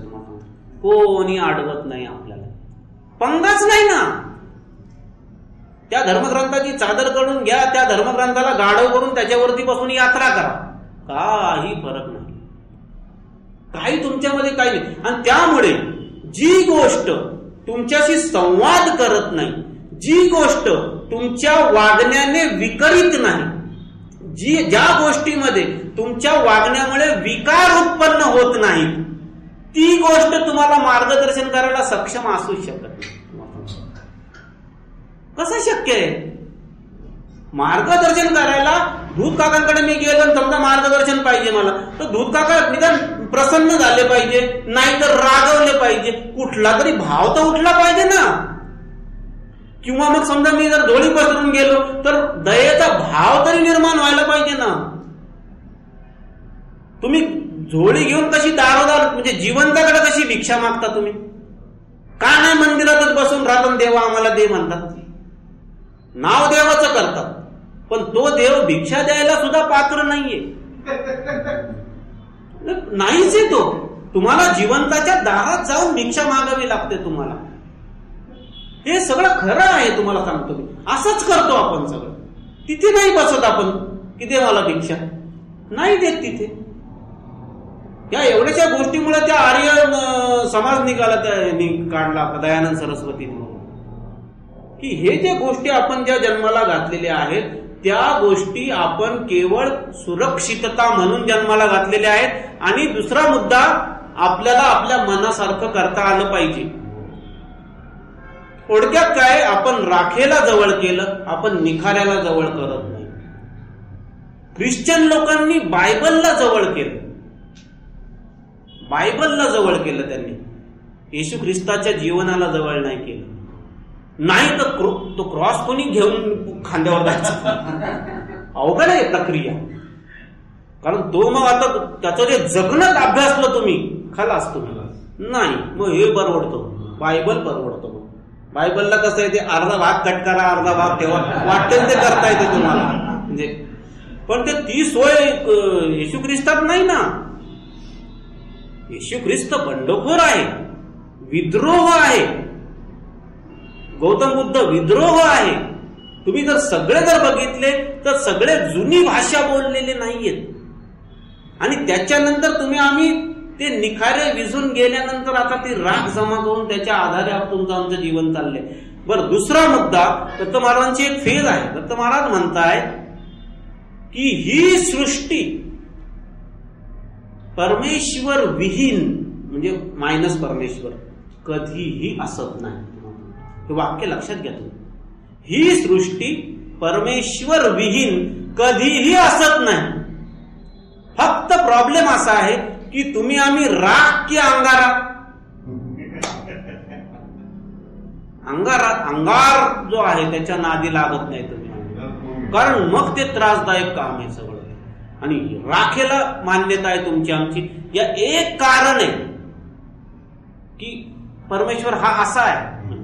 एक कारण आहे. त्याला त- तसं नाही बोलवते तुम्ही. परमेश्वर हा आपल्या लँग्वेज मधला परमेश्वर आहे. परमेश्वर तुम्ही एकदा तपासा. माझं म्हणणं असं आहे की जरा घरी तुम्ही शांतपणे बसा. की परमेश्वर हा काय नक्की एलिमेंट आहे? जरा तपासा तुम्ही.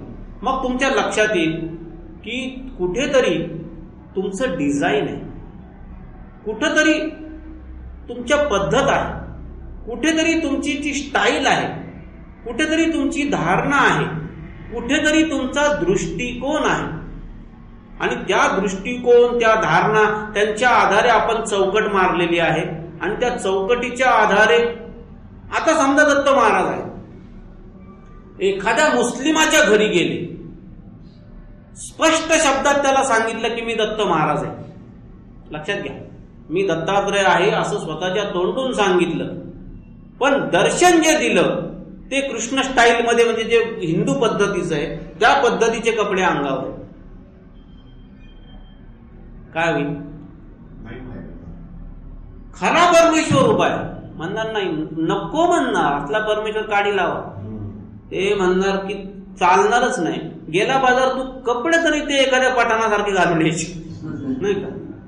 किंवा मग ते नाही का असे ते म्हणजे मुस्लिम पद्धतीची टोपी लावून यायचं. आता हीच उलटी गत झाली. एखादा हिंदूच्या घरी दत्त महाराज गेले ते एकदम मुस्लिम म्हणजे कट्टर मुस्लिमाच्या पद्धतीने गेले. त्यांची मौज आहे.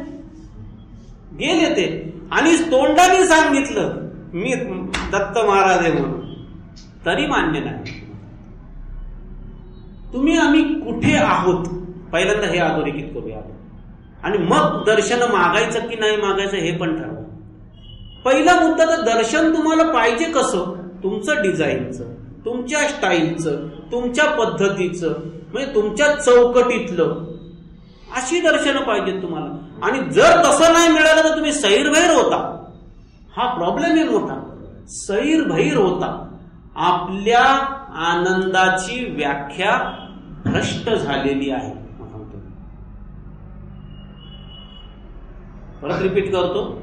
आपली आनंदाची व्याख्या भ्रष्ट व्याख्या आहे. ती कुठल्या तरी धर्मावर आधारलेली आहे कुठल्या तरी धर्मशास्त्रावर आधारलेली आहे कुठल्या तरी धारणेवर आधारलेली आहे कुठल्या तरी संस्कारावर आधारलेली आहे कुठल्या तरी ज्ञानावर आधारलेली आहे. ज्ञान म्हणजे सुद्धा धारणांचा समूह तुम्ही आणताय पुढे. काही फार मोठी गंमत नाही ज्ञानामध्ये सुद्धा. ज्ञान हा विषय सुद्धा तसाच आणतो आपण. इथे जे ज्ञानाची चर्चा करतोय ते ज्ञान आणि तुमच्या आमच्या ज्ञानामध्ये जमीन आसमानाचं अंतर आहे. तुमचं आमचं ज्ञान म्हणजे तबकडी ज्ञान आहे. एखादी तबकडी निर्माण करतो आपण त्या तबकडीमध्ये आपलं सीडीमध्ये सगळं मटेरियल टाकून एकदम घट्ट बसवलं की रीड ओनली मेमरी. रोम. नाही का? झालं. तेच रिपीट चाललेलं आहे आपलं ते. ते रीड ओनली मेमरी आहे ती सगळी. ही तबकडी आहे. तर महाराज ह्या ज्ञानाची चर्चाच करत नाही. दत्त महाराज ज्ञानाच्या पुढे अनुभव हा शब्द जोडतात पहिलं तर त्यांना नुसतं ज्ञान हा शब्द मान्य नाही. त्यांना अनुभव ज्ञान हा विषय मान्य आहे. अनुभव हा शब्द जोडण्यापाठीमाग फार मोठी गंमत आहे तुम्हाला सांगतो. ज्ञानाची जी व्याख्या आहे आपली त्या ज्ञानाचं डेस्टिनेशन दत्त महाराज प्रेम सांगतात. लक्षात घ्या. गंमत द्या तुम्हाला सांगतो. हा विषय बघा. ज्ञानाचं जो ज्ञानी आहे त्याने काय करायचं? त्याने ध्येय काय गाठायचं? ज्ञानी याने ज्ञानी याने ध्येय गाठायचं प्रेमाचं. आणि जो प्रेमी आहे त्याने ज्ञानाचं ध्येय गाठायचं. गंमत बघा. उच नीच नाही करत जो प्रेमी आहे त्याने ज्ञानाचं ध्येय म्हणजे त्याचं प्रेम ज्ञानाच्या उच्चतेला गेलं पाहिजे. आणि ज्ञानाचं प्रेम प्रेमाच्या उच्चतेला गेलं पाहिजे. म्हणजे ज्ञानाने प्रेमाचं अंतिम टोक शोधलं पाहिजे. प्रेमी असेल तर त्याने प्रेमाचं धरायचं प्रेमाचं टोक धरायचं पण त्याने ज्ञानाचा अंतिम टोक शोधलं पाहिजे. त्याचं कारण आहे की चिखल नुसता चालणार नाही कमळ नुसतं चालणार नाही चिखल आणि कमळ. दोन्ही गोष्टी बरोबर आहेत. ह्या विधानाप्रत आपल्याला यायला लागेल तुम्हाला सांगतो. त्याशिवाय दोघांच्याही पार नाही तर अशा रीतीने उत्सव बेसिकली हा विषय खूप महत्त्वाचा आहे. जर तुमच्या आमच्या याच्यामध्ये आनंदाची निर्मिती होणार नसेल आणि आनंदाची निर्मिती या दोनच प्रकारांनी होऊ शकते सत्य ज्ञान. वस्तुस्थितीला परफेक्ट त्या स्थितीला असणारं ज्ञान तुमचं. म्हणजे एखादा ड्रायव्हर आहे त्याच्या ड्रायव्हिंगचं स्किल आहे त्याचं खूप. पण ड्रायव्हिंगमध्ये न शिकवलेल्या सगळ्या परिस्थिती निर्माण झाल्यानंतर जे ज्ञान काम करतो ते ज्ञान. ते नाही फर्स्ट गिअर असा टाकायचा सेकंड गिअर असा टाकायचा हे ज्ञान नव्हे. हे माहिती वापरलं जातं प्रत्यक्ष. घटनेच्या अनुषंगाने जे वापरलं जातं ते ज्ञान. आज परिस्थिती बदललेली आहे. मागच्या वेळेला सुद्धा मी तुम्हाला ही गोष्ट मोठी करून सांगितली होती. की परिस्थिती आजची जी आहे ही परिस्थिती या सगळ्या गोष्टींना फार लवकर पूर्ण करणारी आहे. एक काळ होता की त्यावेळेला आयुष्य मोठं होतं माणसाचं. त्या काळात भरपूर काही तप केली लोकांनी पण नाही. आत्ताची पिढी ही विकसित पिढी आहे. ही पूर्णपणे विकसित पिढी आहे. कशावरून? एकदम सोपं आहे. माझ्याशी एक जण नडला होता. कलियुग खोटे आले का दादा? म्हटलं नाही तसं नाही. त्याला म्हटलं कलियुगानंतर काय येणार? सत्ययुग येणार. कलियुगानंतर सत्ययुग येणार आहे. चौकटी पूर्ण झाली आता. त्या चौकटीनंतर मनुष्य प्रगत होत आलेला आहे. आणि या प्रगतीचा परिणाम म्हणून पुन्हा त्याला सत्ययुग बहाल होईल समजा. जर ही चौकटी मान्य केली म्हणजे तुम्ही आम्ही सत्ययुगात जाण्याच्या लायकीचे आहोत आता. लायकीच अंडरलाईन करून टाकू आपण. कोण म्हणतं लायक ना फक्त प्रॉब्लेम एवढाच आहे की समजून घेण्यात प्रॉब्लेम बाकी प्रॉब्लेम कुठंच नाहीये. चालणं बरोबर आहे सगळं बरोबर आहे. कुठं तरी नाव बांधून ठेवलेल्या स्थितीमध्ये आहे. हेलकावे पण खाते. ते काही दारुडे लोक तुम्हाला ते उदाहरण माहिती असेल की काही मंडळी होती की रात्रीची दारू प्यायली. नाही का? आणि त्यांनी मग ते एका नावेमध्ये बसले पार जायचं होतं त्यांना. ते बसले तर ते रात्रभर ते बरं ते वल्लवत होते त्या किनाऱ्याला नाव हालत होती ते. म्हणजे श्रम झाले. लक्षात घ्या रात्रभर श्रम करतोय प्रत्येक जण येतोय आता मी आता मी. त्यांची पार उतरली सकाळपर्यंत. दारू करत करत. आणि त्याच्यानंतर सकाळी बघतात जिथे होतं तिथेच. मग लक्षात आलं की श्रम झाले पण नाव ती सोडायला पाहिजे होती तिथे बांधलेली ती काही सोडलेली नव्हती. एवढाच फरक आहे. एवढाच फरक आहे. मी सुद्धा श्रम करतो तुम्ही सुद्धा श्रम करता. दोघांच्या नावा हालतात दोघांचं वल्लवणं चालू आहे. एकाचा प्रवास घडतो एकाचा घडत नाही. त्याला एवढाच फरक आहे. एवढाचा फरक आहे फक्त? बांधून ठेवणं. एवढा एकच फरक आहे तेवढा. आणि इथेच फक्त तुमचं धाडस अपेक्षित आहे. धाडस करायचं ते इथंच आहे फक्त बस. सुरक्षित वाटतं. नाव किनाऱ्यावर सगळ्यात जास्त सुरक्षित असते. पण ती किनाऱ्यावर शोभत नाही. नावेला बनवलंच कशाला मग? तिचं ध्येयच हरवलं माझ्या मुलीला मी आत्ता एक पत्र लिहिलं त्या पत्रामध्ये पहिली ओळ मी टाकली त्याच्यामध्ये.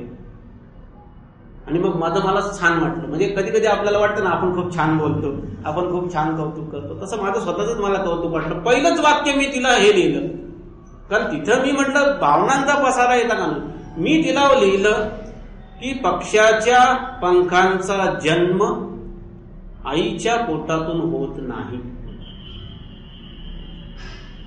हा होत नाही. तो धाडसातून होतो. आईच्या पोटातून पंख येतात पण त्या पंखांना धाडस जर दिलं गेलं नाही ती उडू शकत नाहीत ते पंख. हा जन्म धाडसातून होतो हा जन्म विद्रोहातून होतो. तुमच्या आमच्याकडे पंख आहेत पण तो जो एक वर्तमानकालीन विद्रोह लागतो जी एक बुद्धाची कॅपॅसिटी होती विद्रोह. जी एक महावीराची कॅपॅसिटी विद्रोह.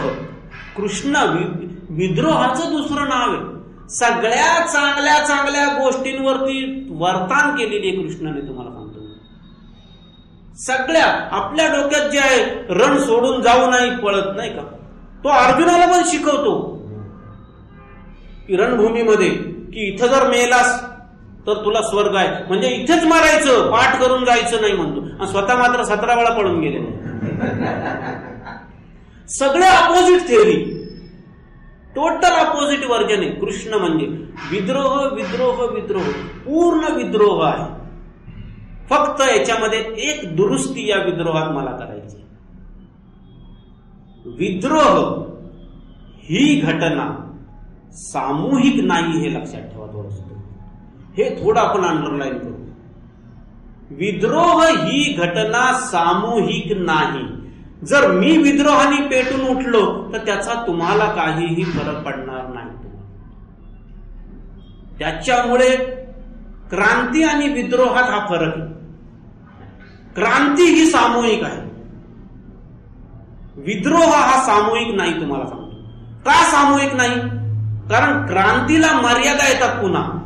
क्रांतीला काय होतं? समूह लागतो. समूह आला की समूहाचे नियम तयार होतात. समूहाचे नियम तयार झाले सत्य बारगळले गंमत आहे मोठी. क्रांतीला नियम येतात मग.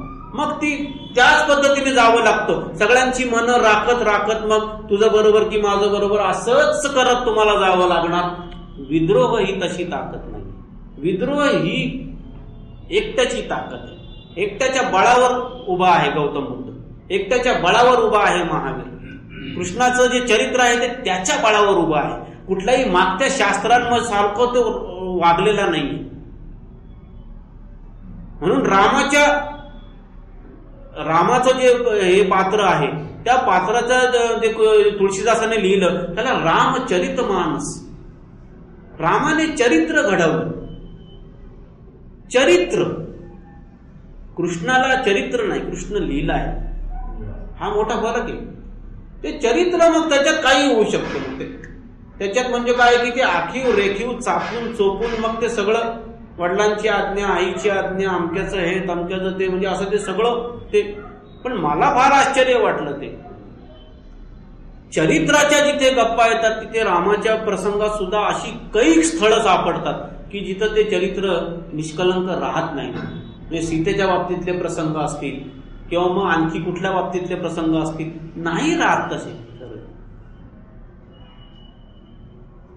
म्हणजे चरित्र बघितलं तर मग आई वडिलांनी परमिशन शिवाय लग्न नाही केलं पाहिजे. विश्वामित्र परस्पर घेऊन गेले. तिकडे धनुष्य तोडलं त्या जनकाच्या सभेमध्ये त्याच्यानंतर स्वयंवर झाले सीतेचे. मग आलेत अयोध्येला. आणि मग अयोध्येला परत केलं असेल धुमतो तो वेगळा विषय आहे. बेसिक चरित्र निर्मिती आहे तिथे. लीला आहे हा लीळेचा भाग आहे. विद्रोहाचा भाग हा लीळेचा भाग आहे. पूर्णपणे आत्ता आत्ता बोला. आत्ताची जी फेज आहे. दुसरा मुद्दा शास्त्र हा विषय तोपर्यंत लाईन बघा रिपीट करूया आपण. शास्त्र हा विषय तोपर्यंतच आपण शास्त्र मानूया. जोपर्यंत तो जिवंत आहे. लक्षात घ्या. शास्त्राची परिभाषाच आपण बदलून टाकू. शास्त्र म्हणजे राखेने लिहिलेले अक्षर नाही. शास्त्र म्हणजे अंगाराने लिहिलेले अक्षर. अंगार हा विषय ज्वलंत आता आहे. आता आहे. त्याची ज्व ज्वाला आता आहे. ज्वालेला वर्तमान काळ आहे. त्याला भूतकाळ भविष्यकाळ नाही तुम्हाला आहे का? अंगाराला भूतकाळ भविष्यकाळ नाही. थोडा त्रास होईल. त्रास कशाचा होईल सांगतो तुम्हाला. त्रास होईल फक्त सवयी बदलण्याचा. बाकी नाही त्रास काय मलाही त्रास झाला. माझ्या सवयी आहेत तोपर्यंत त्रासदायक आहे हा विषय. पण एकदा तुम्ही त्या सवयी स्वतःच्या सवयी मोडल्या त्यांची चौकट मोडली तर तुम्हाला सांगतो तुम्ही आनंदाला साथ घालता. मग तुमच्या लेखी काहीही शून्य राहत नाही म्हणजे. प्रत्येक शून्य हा परिपूर्ण शून्य होऊन जातो म्हणजे. म्हणजे शून्य म्हणजे भरीव शून्य. पोकळता नाही त्याला. अशा पद्धतीचा सगळा हा विषय आहे. आपण जी उत्सवाची संकल्पना मांडतोय ती थोडीशी अशी करूया की तुम्ही जी कामं करताय आता असं समजा की तुम्ही तुमची कामं करत नाही. थोडी संकल्पना बदला. भावनेचा जवाब आहे थोडासा. तुम्ही परमेश्वराचं काम करा. कुठला पण. समजा आशिष आहे त्याच्या घरा त्याच्या आपल्या ऑफिसमध्ये बसलेला आहे. पाठी लावलेली आहे आशी इथून. आतमध्ये बसलेला आहे. ठीक आहे ना? पाठी लावली आशी इथून. पण मी इथे परमेश्वराचा दूत म्हणून बसलेलो आहे काम. प्रत्येक गोष्टीचा आनंद घेईन. मी सही करायला पण आनंद घेईन. मी सगळ्या गोष्टीला आनंद घेईन त्याच्यामध्ये. एक प्रयत्न करून बघा थोडासा फरक आहे हा फक्त. किंचित बदल. मजा येईल तुम्हाला. काय त्याच्यातून निष्पत्ती होईल? परमेश्वरार्पण तुझं काम करतोय तू जाण आता हे वैतागले आता. प्लॅनिंग करून करून वैतागले. खूप प्लॅनिंग प्लॅनिंग प्लॅनिंग असं करायचं तसं करायचं. आणि तुम्हाला सांगतो जस जसं हे प्लॅनिंग करत गेले दुसऱ्या दिवशी उद्ध्वस्त होतात. प्लॅनिंग केलं उद्ध्वस्त होतं. मग आता काय आला? आता अशी कंडिशन आली आहे की तिथे हात जोडतात बाबा काही प्लॅनिंग नाही करत. जसं प्लॅनिंग बंद झालं तसा मग देण्याचा किंवा उधळण्याचा किंवा उत्सवाचा जो सोस वाढला तो तिथे वाढला तुम्हाला सांगतो म्हणजे मागणी हा विषय संपली आणि त्याच्यानंतर पुरवठा म्हणजे बाकीच्या जगामध्ये उलट आहे मागणी तसा पुरवठा. इकॉनॉमिक्समध्ये आपलं सूत्र आहे म्हणजे. की मागणी असल्याशिवाय पुरवठा नाही करणार. इथे मागणी संपवायची काही दिवस पुरवठा करायचा नाही आणि त्याच्यानंतर त्याच्यानंतर सिद्धांत जन्माला घालायचा एक की मागणी करणं म्हणजे पुरवठा थांबवणं. आणि या सिद्धांताचा जेव्हा माणूस पक्का झाला त्याच्यावर लगेचच धार पडते मग त्याच्यावर. गंमतच तशी आहे त्याला काय करणार? उधळणारा विषय आहे तुम्हाला सांगतो. उत्सव आहे आपण उत्सवच साजरा करूया आपण आनंदात साजरा करूया सगळं. तुमच्या लक्षात पण येणार नाही की कधी डेस्टिनेशन आलं. कारण पहिल्या सेकंदापासून जर डेस्टिनेशन आलं तर फिकीर कोण करताय? भक्ताची लँग्वेज विचित्र आहे तुम्हाला. भक्ताची लँग्वेज अशी आहे त्याला एकाने विचारलं एकाला शांडिल्य ऋषींना एकाने विचारलं की परमेश्वर मिळण्यासाठी काय म्हणजे मिळाल्यावर भक्ती कशी काय म्हणजे काय? परमेश्वर परमेश्वर कसा भेटेल? तर म्हणलं तू तुला कळतच नाही म्हणलं जा म्हणलं. म्हणतो भक्ताची लँग्वेज ही आहे परमेश्वर मिळालेलाच आहे. तुम्ही सुरुवात करा अशी मिळालेलाच आहे. आपण आनंद घ्यायला सुरुवात करू. मग भक्ता यत्र गायंती तत्र तिष्ठामी नारदा.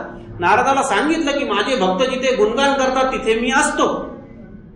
राईट मग उत्सव करायला सुरुवात करा तो तुमच्या दारात इष्टच उभा राहील. त्याला आयडिया आहे त्याला.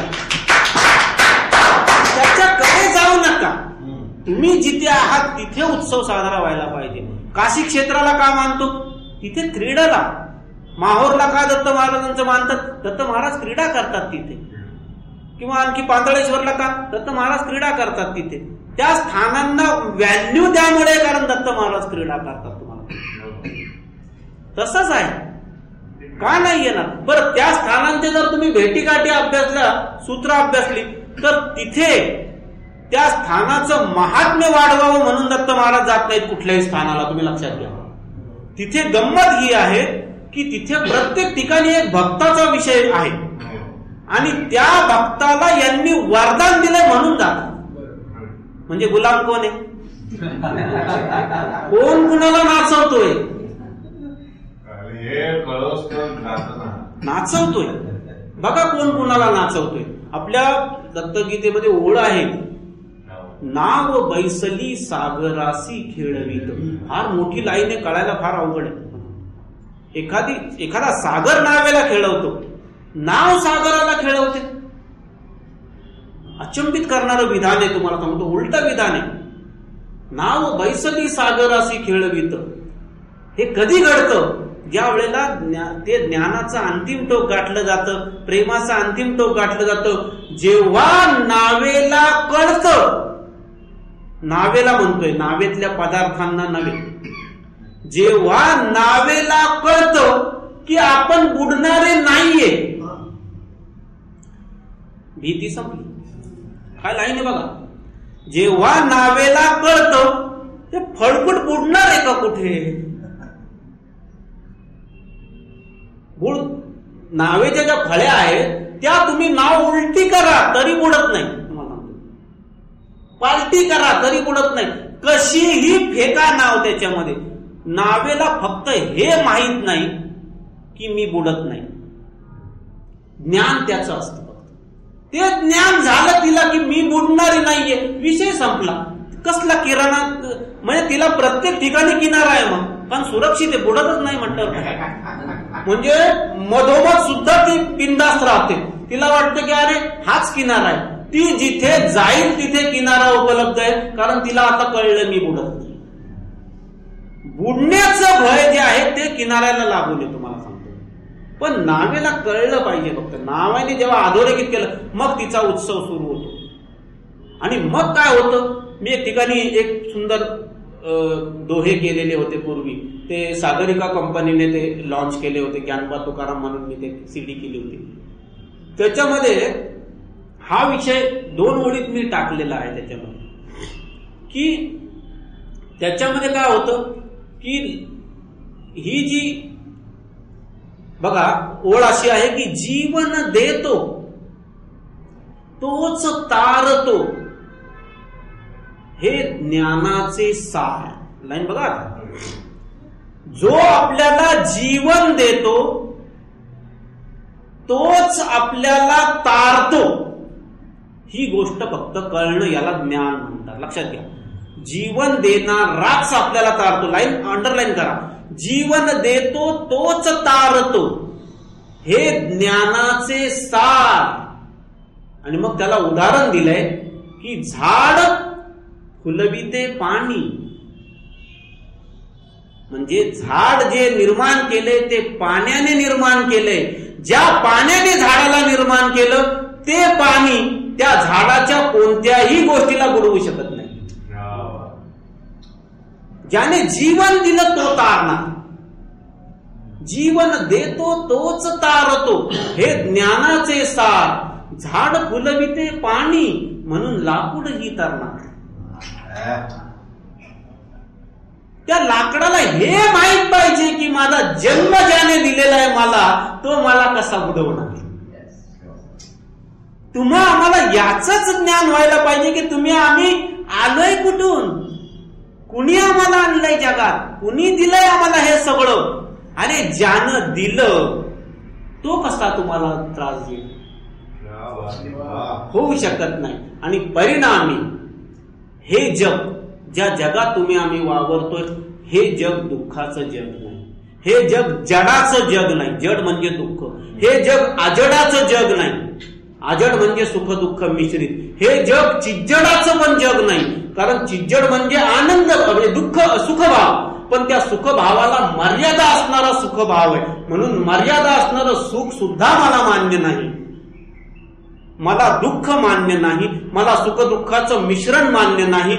मला नुसतं सुख सुद्धा मान्य नाही कारण ते मर्यादेत मिळवणार आहे. मग मला आनंद मान्य आहे की जो मर्यादा विहीन आहे जो अमर्यादा आहे. आणि म्हणून हा उत्सव शब्द यांनी जो काढला तो तुम्ही लक्षात ठेवा. त्या उत्सवाला मी विष्णू जोशींचा विद्रोह जोडला. विद्रोह ही एकच ताकद आहे तुम्हाला सांगतो की ज्याच्यामधून खरोखर फुलता येतं तुम्हाला सांगतो. फुलता येतं तुम्हाला सांगतो. आपण काट्याला माहीत नाही म्हणजे काटे आणि फुलं आपण तुम्ही आम्ही फरक करतो. तसं नाहीये. काटा ज्यावेळेला लागतो त्यावेळेला रक्त येतं. नाही की नाही? ते रक्ताचा रंग गुलाबाचा रंग मॅच करायचा परफेक्ट लाल. काही फरक नाही तुम्हाला सांगतो. कोणी सेम आहेत. फक्त पद्धती वेगळ्या आहेत तुम्हाला सांगतो. करण्याच्या पद्धती वेगळ्या आहेत. व्यक्त होण्याच्या पद्धती वेगळ्या आहेत. आणि म्हणून माझ्या मुलीला पण मी तिथं सांगितलं. तुझी जी दुर्मिळता आहे ही परमेश्वराने बहाल केलेली दुर्मिळता आहे. तुमची आमची प्रत्येकाची दुर्मिळता ही परमेश्वराचा प्रसाद आहे.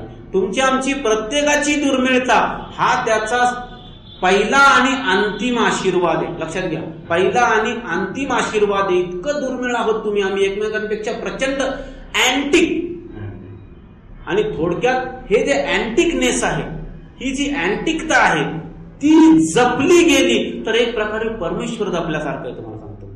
फार महत्त्वाचा विषय आहे. मग तसं फुला प्रत्येकाची फुलण्याची स्टाईल वेगळी प्रत्येकाची. हा बगीचा नका करू. मी त्या मोअर शेकर्समध्ये काम करायचो. तिथे मग विनोदी लिहायचो अर्थात शेखर सुमनसाठी.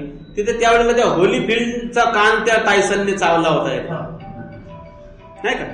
होली फील्ड बॉक्सर त्याचा कान त्या माईक टायसनने चावला दुसऱ्या दिवशी बातमी आली. मग ते मला शेखर सुमननी ती बातमी दिली इसका कुछ करो. म्हणजे याच्यावरती काहीतरी पंचलाईन लिहा. तर त्याच्यावरती मी पंचलाईन अशी दिली होती की तो जो माईक टायसन आहे त्याच्याकडे तो होली फील्ड असं भिकारासारखं गेला. म्हणजे आणि तो त्याला विनंती करतोय की दुसरा पण कान चाव. कारण एक असा नाही एक असा नीट दिसत नाही सिमिलरिटी बिघडते. सेम वाटलं पाहिजे म्हणतो. हा कसा चावला? तर दुसऱ्याने चावला तर त्याचे दात वेगळे. नाही का? त्यामुळे हे पण तुलाच चावावं लागेल. म्हणजे काय होईल? दोन्ही कान समान दिसतील. दोन्ही कान समान दिसतील तर सिमिलर होईल सगळं. माणसाचं जग जे आहे लाईन पुन्हा मोठी एक लाईन घेऊया. मोठी लाईन आहे माणसाचं जग आहे. ते सगळं जग सिमिलॅरिटीचं जग आहे. ते सगळं जग असं कापून कापून एकसारखे दिसणारे एका छापाचे घडवणारं जग आहे. ते सगळं जग तुम्हाला सांगतो बाग बगीचा असं सगळं कुंड्या बिंड्या लावून असं सगळं सजलेलं जग आहे. परमेश्वराचं जग हे सिमिलॅरिटी मोडणारं जग आहे. इथं एक माणूस अद्वितीय. अद्वितीय. कोट्यावधी लोक होऊन गेलीत कोट्यावधी लोक पुढे होतील परंतु या सम हा काही मेळच नाही. आणि का मेळ नाहीये? त्याचं कारण फार सूक्ष्म आहे तुम्हाला अतिसूक्ष्म कारण त्याचं. खूप महत्वाचं आहे बघा. मी का म्हणतोय तुम्हाला सांगतो? खूप लाईन महत्वाची आहे तुम्ही आम्ही. जे तुम्हाला आम्हाला अँटिक केलं गेलेलं आहे. परमेश्वर जो आहे तो अनंत आहे. अनंत होण्यासाठी त्याला अनंत प्रकारे व्यक्त पण तर व्हायचंय. बरं अनंत प्रकारे व्यक्त होण्यासाठी जड चेतन या दोनच गोष्टी आहेत. तो जडाच्या अनुषंगाने सुद्धा अनंतता दाखवतो. आणि चेतनाच्या अनुषंगाने सुद्धा अनंतता दाखवतो तुम्हाला सांगतो म्हणजे तुमचा जो अँटिकनेस आहे तुमचं जी दुर्मिळता आहे शंभर टक्के दुर्मिळता आपण शब्द वापरू याला शंभर टक्के दुर्मिळता तुमच्यातली शंभर टक्के दुर्मिळता हा परमेश्वराचा शंभर टक्के आविष्कार आहे. हा असा विचार घ्या तुम्ही आता. वेगळा विचार. शंभर टक्के दुर्मिळ आहात तुम्ही. तुमच्यामध्ये परमेश्वर शंभर टक्के वेगळा व्यक्त झालेला आहे. ते अंग आहे परमेश्वराचं की जे तुमच्यामध्ये कामिल काम कमाल किया तैने ख्याल से खेल बनाए दिया. नहीं कागज कलम जरूरत है बिन रंग बनी सब मूरत है. उन मूरत में एक सूरत है तैने आपने आय मुकाम किया. आणि ते जे मुकाम जो आहे तुमच्यामध्ये तो त्या दुर्मिळतेचा आहे. तुमच्यामध्ये मुकाम जो आहे तो तुमच्या अँटिकचा विषय आहे. आणि म्हणून तुमची अँटिकता मोडली तुमची स्वतंत्रता मोडली की तुम्ही लगेच सैरबैर होता. ती तुम्ही मोडू देत नाही कारण परमेश्वर भाव मोडतो. तो भाव आहे तुमच्यामध्ये.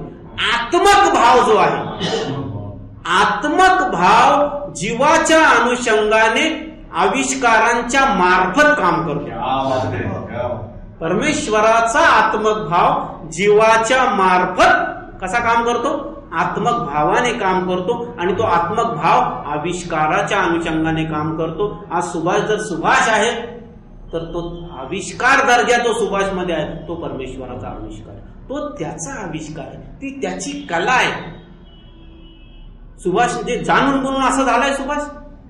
नाही झालेलं सुभाष तुमचे आमचे फोटो तुम्ही आम्ही घेतो पण तुमचे तसेच फोटो यावेत. हे तुमच्या हातात नाही.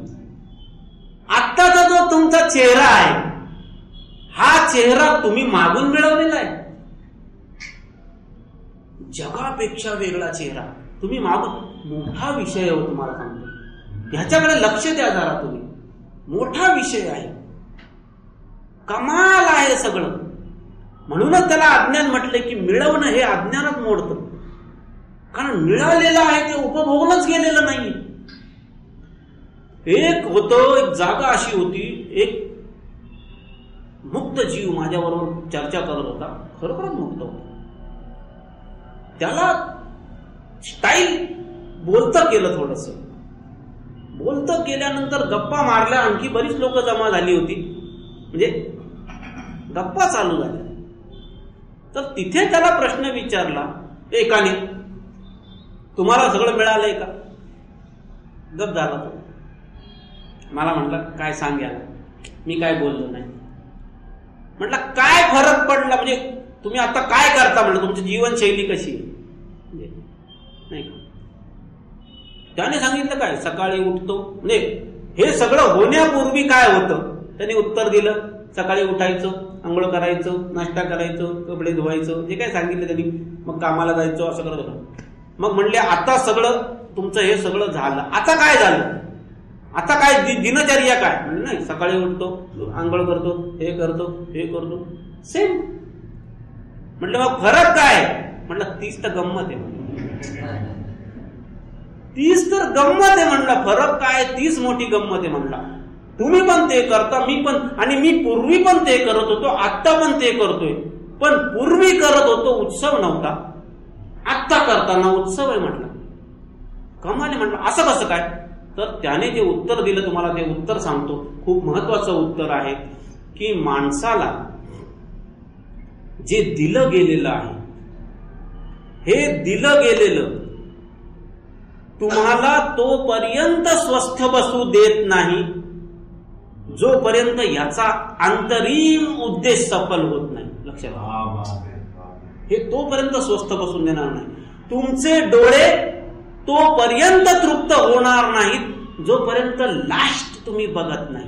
तुमचे कान तोपर्यंत तृप्त होणार नाही जोपर्यंत ते अतिदिव्य असलेलं तुम्ही ऐकत नाही. नाही होणार तृप्त. नाहीये तुम्हाला सांगतो त्याच्या तृप्ती नाहीये. मग काय होतं? तर मुक्ततेचा जीव तेच करतो जे तुम्ही आम्ही करतो. फक्त फरक एवढा पडतो की तुमचे आमचे डोळे एक टक्का सुद्धा वापरले जात नाही आणि त्याचे डोळे शंभर टक्के वापरले जातात. तुमचे आमचे नाक एक म्हणजे तुमच्या आमचा जो श्वास आहे तो हवा आहे. आणि त्याचा त्याची जी हवा आहे तो श्वास आहे तुम्हाला. इतका मोठा फरक पडतो तुम्हाला सांगतो पण हे सगळं घटना आहे. हे तो जपतो. काय करतोय? सेम तर करतोय सगळं. पण नाही म्हणतो तो. आता फरक पडला. हंड्रेड पर्सेंट फरक. आणि म्हणतो आता म्हणतो काय होतंय? नासिर की फाका मस्ती को अल्लाह की पना. नाही खाता हे सुके तुकडे भिगोकर शराब. त्याच्यात आनंद उपभोगायला लागला बाबा. म्हणजे कशातही समाधी लागते म्हणतो. तो काहीतरी बूट पॉलिश करायचा धंदा करायचा. बूट पॉलिश करता करता समाधी लागते त्याची. काय? त्याला एक लक्षात घ्या बूट पॉलिश करता करता म्हणून चार लोकांनी बूट घासत बसलं तर लागणार नाही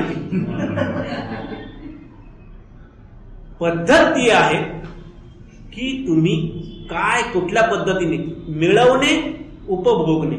तर त्यातल्या त्यात मिळवण्याचा भाग आहे तो सुद्धा उपभोगण्याच्या अंगाने मिळवणे. म्हणजे त्याच्या सुद्धा आनंदच घ्या तुम्ही माझं म्हणणं आहे.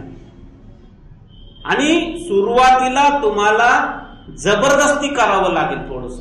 त्याचं कारण आहे की तुम्हाला हे शरीर जे मिळालंय त्याला आपण जरा चापून चोपून बसवलेलं असल्यामुळे सुरुवातीला किरकिर करेल हा विषय.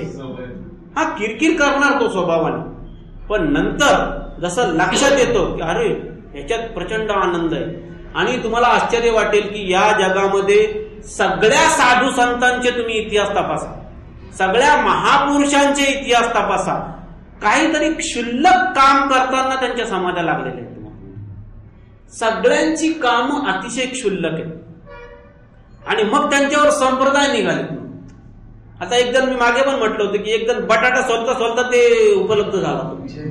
त्याला झेल साधू तो. झालं. आता ती प्रथा आहे त्यांच्यामध्ये ते बटाटे सोलत बसतात. आता ते बटाटे सोलत बसले. महावीर ते उकडू. म्हणजे गाईचं दूध काढताना कसा बसतो माणूस तसे बसले होते ते. काय ते? गोदुग्ध दोहासन म्हणतात त्यांनी नाव दिलं त्याला जैन लोकांनी. गोदुग्ध दोहासन. म्हणजे गाईचं दूध दोहा धुताना तसा बसतो माणूस उकड उकडवाहून तसे बसले होते. त्यांना तशा स्थितीत झालं त्यांनाही कळलं नाही. पण प्रॉब्लेम तो झाला की आता त्यांच्यामध्ये तसंच बसतात एकालाही नाही झाला. कारण तुम्हाला कळलं? काय कारण आहे? अँटिकनेस त्यांचा तो आहे. तुमचा अँटिकनेस वेगळा आहे. लकीर के फकीर कैसे हो सकते? तुमचा अँटिकनेसच वेगळा आहे. तुमची स्टाईल वेगळी. ती स्टाईल शोधायला वेळ जाईल फक्त बस. पण तसं सुभाषला झालं तसं नारायणला नाही. नाही हो आता बऱ्याचदा आम्हाला नारायणचा फार राग येतो. किंवा नारायणचा हेवा वाटतो. किंवा मग कधी कधी फार त्रास होतो. असं होतं. ते काय करतो? तिथे हात लावतो. आम्ही आपला जरासा हात लावून येतो पळत बाहेर. तो येतो तर चिकटतो तर चिकटतोच.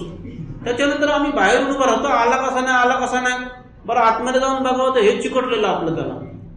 त्याला तिकडे काहीतरी दिसतो होतो त्याचं काहीतरी. चिकटतो तो तिकडे जाऊन.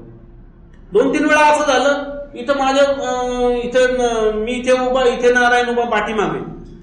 ते वाकडं झाला तो असा. ते पडायच्या पडायच्या अवस्थेला आला आणि मी म्हणते हे का असं चालते आणि नंतर मग आरती झाली एकदाची बाबा नशीब ते पडलं नाही. आरती झाल्यानंतर मग त्याला विचार झालं का? ते खेचते मला. आता त्याची अवस्था आहे. पण मला नाही खेच यांना नाही खेचत. नाही होत. मग राग येतो. पण राग येऊन फायदा नाही. त्याची अँटिकनेस आहे. त्याची स्टाईल येते. त्याला जवळ करायची स्टाईल वेगळी आहे. तशी प्रत्येकाची स्टाईल वेगळी आहे. प्रत्येकाच्या बाबतीत परमेश्वर अनंत आहे हो. त्यामुळे त्याची एक स्टाईल असू शकत नाही. प्रखर द्वैत. सगळ्या गोष्टी वेगळ्या वेगळ्या वेगळ्या वेगळ्या. आणि त्या दर्जाला आपल्याला प्रस्फुटित होता आलं पाहिजे. तर आपण उत्सव भरपूर वेळ उत्सव या विषयावरच घेतलेला आहे. पण तरी सुद्धा आपली आपण काय म्हणू आपण आपली जी मुक्ताबाई आहे आता त्या मुक्ताबाईला थोडस ऐकूया पुन्हा एकदा. थोडाच वेळ राहिला पाऊन तास पण त्या पाऊन तासामध्ये मुक्ताबाईला आपण ऐकूया.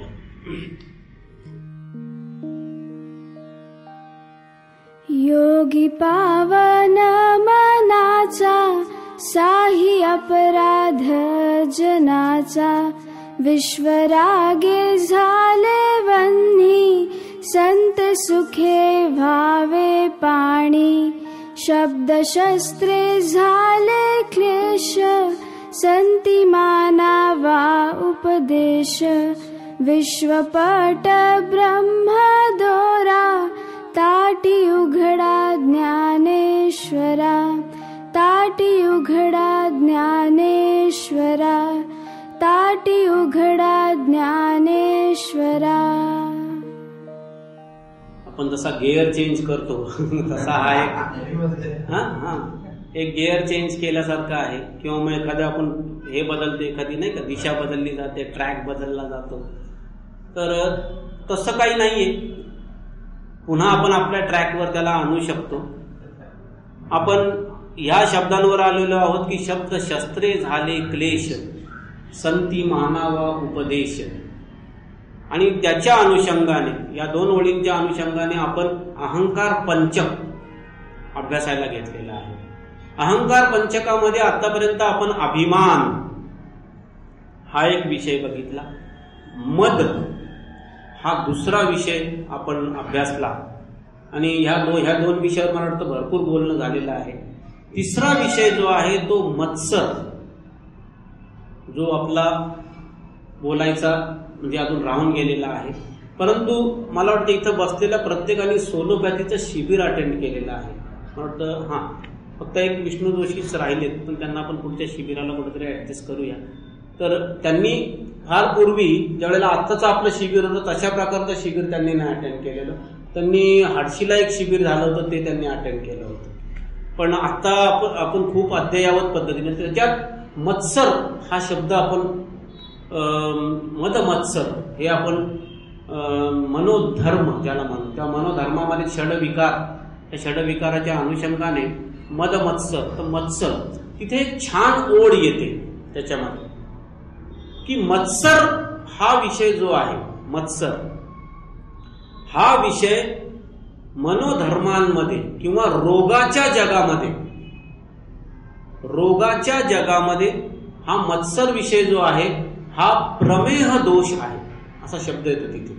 प्रमेह दोष या शब्दाचा अर्थ असा होतो की डायबिटीस किंवा रक्तदाबासारखा विकार.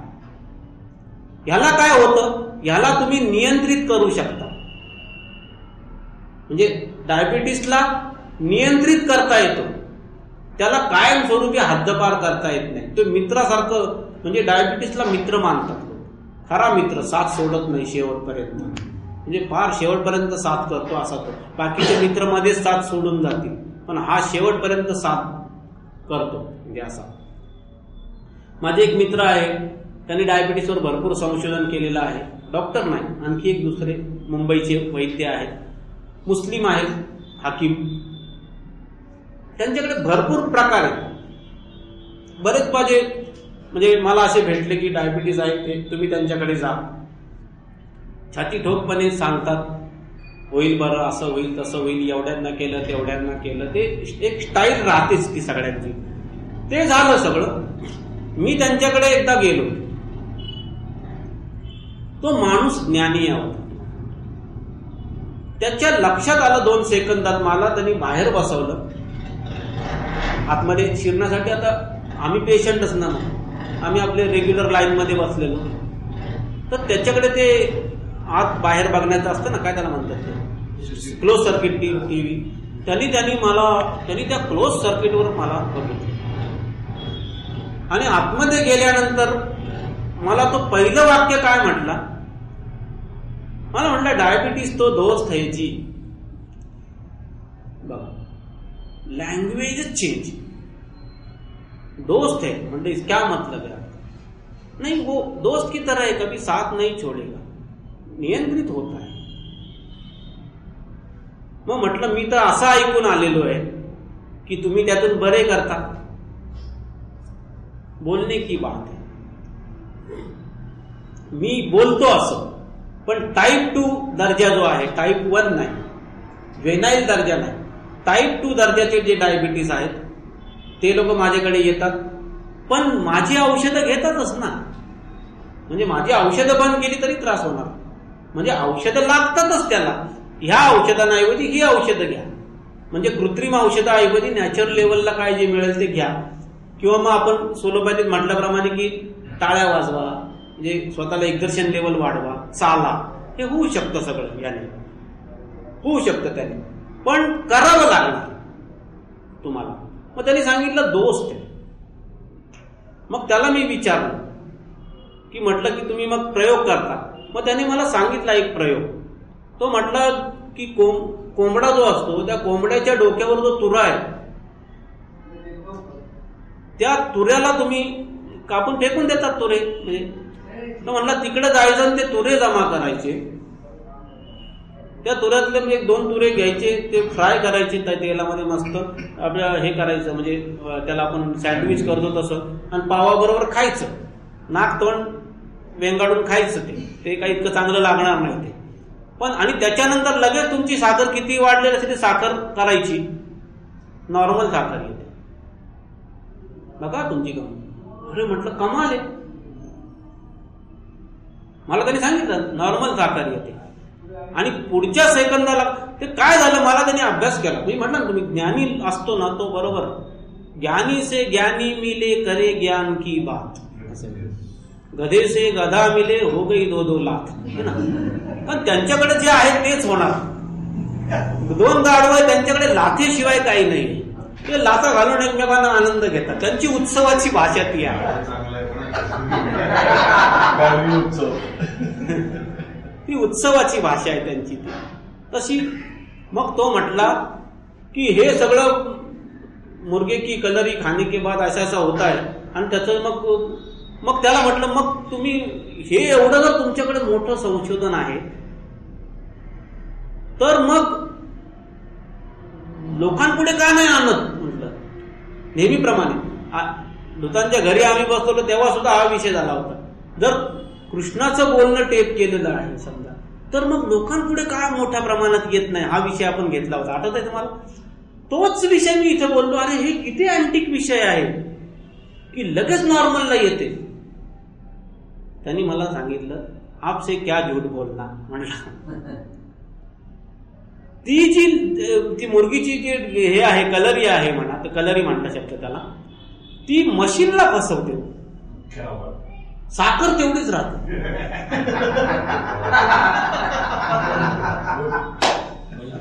साखर तेवढीच राहते. पण तो सुद्धा मला अँटिक शोध वाटला की अरे मेल्यानंतर सुद्धा त्या कोंबडीच्या कलरीमध्ये ते सामर्थ्य राहतं की जे मशीनला सुद्धा फसवतं म्हणजे. काहीतरी असणार त्याच्यामध्ये की तेवढ्या वेळापुरतं ते खाल्ल्या खाल्ल्या ते मशीन एवढी शुगर दाखवतं. आणि त्याच्यानंतर लगेच खरा पुन्हा तुमची जेवढी पाचशे असेल ते हजार असेल जी काय असेल तेवढीच. म्हणजे मशीनला फसवतं. तर म्हणलं आपसे क्या जोडू बोलणं म्हणलं. फक्त मी याचा उपयोग काय करतो? की माझी ऍडव्हर्टाईजसाठी करतो. माझी ऍडव्हर्टाईज आहे प्रत्यक्षात मात्र ही फसवणूक आहे. लक्षात घ्या. कसं असतं जग? तर तो प्रमेह दोष. प्रमेह दोषचा अर्थ असा आहे की बाहेरचे दोष नाहीयेत हे तुमच्या सिस्टीममध्ये दोष निर्माण झाला की त्याला प्रमेह दोष असं म्हणतात. आतमधल्या सिस्टीममध्ये एक जो पॅन्क्रिया नावाचा भाग आहे तो आता पहिल्यासारखं काम करत नाही. तो थकलेला घोडा आहे. त्याला आता मारून तुम्हाला काम करावं लागणार. हा विषय. मग मारून काम करावं लागणार तर औषधाचा मारा करा व्यायामाचा मारा करा किंवा मग खाण्याचा मारा करा कॅलरी लेस खा असं काय करू त्रिसूत्री. व्यायाम औषध पथ्य. त्रिसूत्री. ती कायमची लाग असते ती. एक तर हे करा हे करा हे करा काहीतरी करा. ते काहीतरी केलं की बरोबर ऍडजस्ट होतं सगळं ते. तर त्यांनी तर प्रमेह दोष या शब्दाचा अर्थ मी सांगतोय. प्रमेह दोष या शब्दाचा अर्थ होतो की सिस्टीममध्ये बिघाड आहे. तर मत्सर त्या सोलोपॅथीमध्ये आपण ते वाक्य आलेले की मत्सर हा आपल्या मनोधर्मामध्ये प्रमेह दोष मानला गेलेला आहे. एखादा माणूस जर मत्सरी आहे तर तो मत्सर कंट्रोल करता येईल त्याला. पण तो मत्सर त्याच्यामधला पूर्णपणे घालवता येत नाही तुम्हाला. एखाद्या माणसाविषयी आपण उगीच तिरस्काराने भरून जातो. आपल्यालाच कळत नाही काय भानगडे काही कळत नाही. पण ते जातच नाही शेवटपर्यंत. एखादा विषय आवडत नाही म्हणजे आवडतच नाही. तुम्हाला सांगतो आमच्या इकडे गवळीवाडीमध्ये एक आता नाव घेणार नाही ते खरं तर चुकीचं वाटेल. पण एक प्रकरण असं होतं की अख्ख्या आळीला तो प्रॉब्लेम होता. की ते सकाळी सकाळी त्याला बघायचं नाही त्याचं तोंड नाही बघायचं. ते ते बघितलं की ते दिवस खराब जातो. आता जर एकदा जर असं जर डोक्यात शिरलं तर ती पनवती नसलेली पण लागून घेतो माणूस. मी स्वतः चार पाच वेळा असं केलं. आता आपण त्याला जीजा असं म्हणतो. नाव घेत नाही मी समजा. मी स्वतः लोकांना सांगितलं अरे असं काही नसतं. म्हणजे मग असं काही नसतं. मग तू बघून दाखव. मी रोज सकाळी तो जिजा यायच्या जागेच्या तिथे उभा राहायचो रोज. प्रतीक्षा करत. आणि मग तो जिजा यायचा मी पहिल्यांदा त्याचं दर्शन करायचं. आणि तो जायचा निघून. मला काही प्रॉब्लेम नाही आला कधी. पण अख्ख्या आळीला हा प्रॉब्लेम म्हणजे तो मायनसच केला फॅक्टर तो. आणि म्हणजे तुझं तुला काय नाही रे होत? मग मला काय नाही होत तर तुम्हाला कसं होतंय? म्हणजे माहीत नाही पण होतंय. ते काय होतं? की एकदा तुम्ही ठरवले की अमुक एक जसं ते मांजर आडवं गेलं. नाही का? मांजर आडवं गेलं तर म्हणे काम होत नाही. मग मांजर आडवं गेलं तर काम का होत नाही? मग त्याचं सायंटिफिक वर्जन शोधून काढलं एकाने. सायंटिफिक वर्जन असं शोधून काढलं की मांजर हा विषम स्पंदन लहरी सोडणारा प्राणी आहे. निगेटिव्ह वेव्स आणि अपोजिट लेवलला गाय हा समस्पंदन लहरी सोडणारा प्राणी आहे. ती समस्पंदन लहरी सोडते म्हणून गायीचं गोमूत्र सुद्धा पवित्र तिचं गोमय सुद्धा पवित्र शेण सुद्धा पवित्र सगळं पवित्र. आणि इकडे हे विषम स्पंदन लहरी सोडते म्हणजे तिने रस्ता पण नाही कापायचा तरी सुद्धा. आणि म्हणून मांजर मग ते काशीला जावं लागतं. नाही का? मांजर मारलं की काशीला जावं लागतं. म्हणजे त्याला मारायचं पण नाही. मारलं की काशीला जावं लागतंय. मग ते विज्ञानामध्ये असे बारीक बारीक त्याचे शोध लागले गेले. मग त्यात आणखी शोध लावला. मग तो असा की मग काशीला गेल्यावर ते हे होतं. का होतं? मग ते जे मांजराच्या शरीरातले वेव्ज आहेत ते मारणाराच्या अंगावर जातात. आणि ते बावीस अंश अक्षांशाच्या खाली असलेल्या ठिकाणीच ते सुटतात. आणि मग त्या बांगलादेशामध्ये ढाका एक अशी जागा आहे. आपल्या देशात काशी एक अशी जागा आहे. अहो ते काय दळण तुम्हाला सांगतो ते. एवढं करून एकाने विचारलं की मांजर आडवी जाऊन माझं काम होतं. तर त्याने रेटून सांगितलं नाही म्हणला. मांजर आडवत गेले काम होत नाही. तो बोका असेल म्हणला.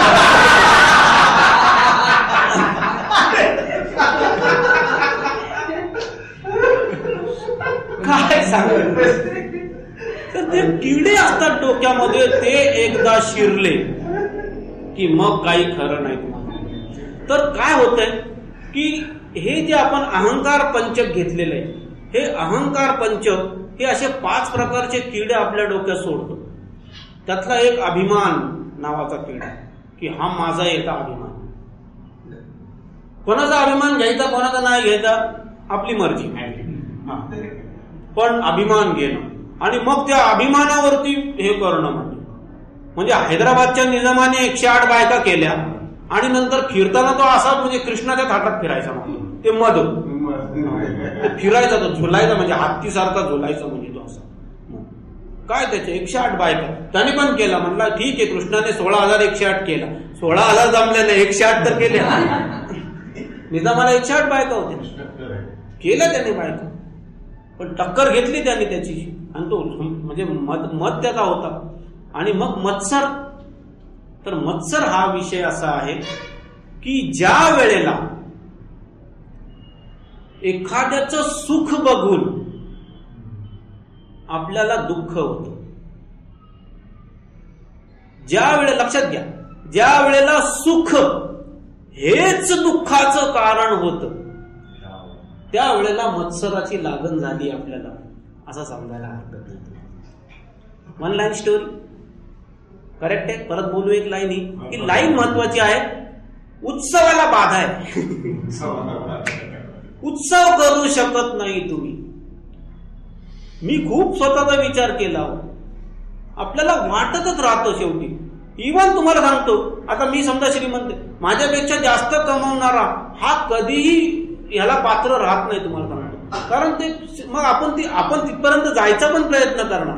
पण तोपर्यंत मत्सराला पात्र राहत होतो तो काय म्हणजे आता समजा माझ्या माझ्या शेजाऱ्याने खूप पैसे आहेत समजा. त्यांनी काय रे दोन नंबरचं कमवलं. त्यांनी भले मेहनतीने कमवले. पण तसं म्हटल्याशिवाय तो मत्सर शांतच होत नाही त्याने दोन नंबरने कमवला असेल असं आपण विधान टाकलं की मग आपल्याला बरोबर. वाटतं हा. आता माझी गरिबी करेक्ट आहे. आता माझं म्हणजे एकदम करेक्ट म्हणजे मापात आलेलं आहे. ते मत्सर म्हणजे काय करतो ते नियमन करायचा प्रयत्न करतो काही करून. मग त्यामुळे नावं ठेवणं हा इलाज होऊन बसतो. त्याला नावं ठेवल्याशिवाय आपलं हे नाही. तुम्हाला सांगतो ही मत्सराची लागण. तुम्ही जर आपल्या देशातले धर्म तपासले तर तुम्हाला हा रोग काय भयंकर व्याप करतो? काय भयंकर प्रकार करतो तुम्हाला लगेच लक्षात येईल तुम्हाला सांगतो. सगळे धर्म जर बघितले तर त्या प्रत्येक धर्माला दुसऱ्याच्या मत्सराची लागण आहे तुम्हाला सांगतो. बघा तुम्ही. समजा हिंदू धर्म आहे मुस्लिम धर्म आहे. मुस्लिमाला तुम्ही कधी आता समजा एक ठिकाणी गेलात तुम्ही. प्रवास करतो आपण आगगाडीने समजा. किंवा विमानातून. शेजारचा माणूस बसला रे बसला की लगेच त्याला आपण विचारतो. कुठले तुम्ही? नाही का? असुरक्षितता आहे ना. कुठले तुम्ही? मग तो सांगतो असा असा मी इकडचा. बरोबर मग जवळचं काहीतरी काढतो शोधून अच्छा मग आम्ही पण इकडचे ना. झाली. एक ओळख झाली. पण त्याने जात नाही. मग पुढे लगेच मग पुढचा प्रश्न असतो की आता काय? मग त्याला विचारतात की तुम्ही आमच्या आमच्या ठिकाणी ह्याला ओळखता का? मग तो म्हणतो तो? हा तो मला माहिती आहे. हा मग माझा पण तो दोस्त आहे एकदम कॉमन दोस्त निघाला. म्हणजे अजून सुरक्षितता. सुरक्षिततेचे उपाय बघा आपले कसे होते एकदम म्हणजे. आणि मग असं करत करत मग शेवटी धर्मावर गाडी येते. तू कुठल्या धर्माचा? आता ते जर वस्त्रावरून ओळखून आलं तर जर एक हिंदू असेल आणि तो समोरचा मुस्लिम निघाला हा सैरगैर लगेचच. तो बिचारा चांगला असेल हो. पण नाही. आपण लगेच सैरभैर होऊन जातो.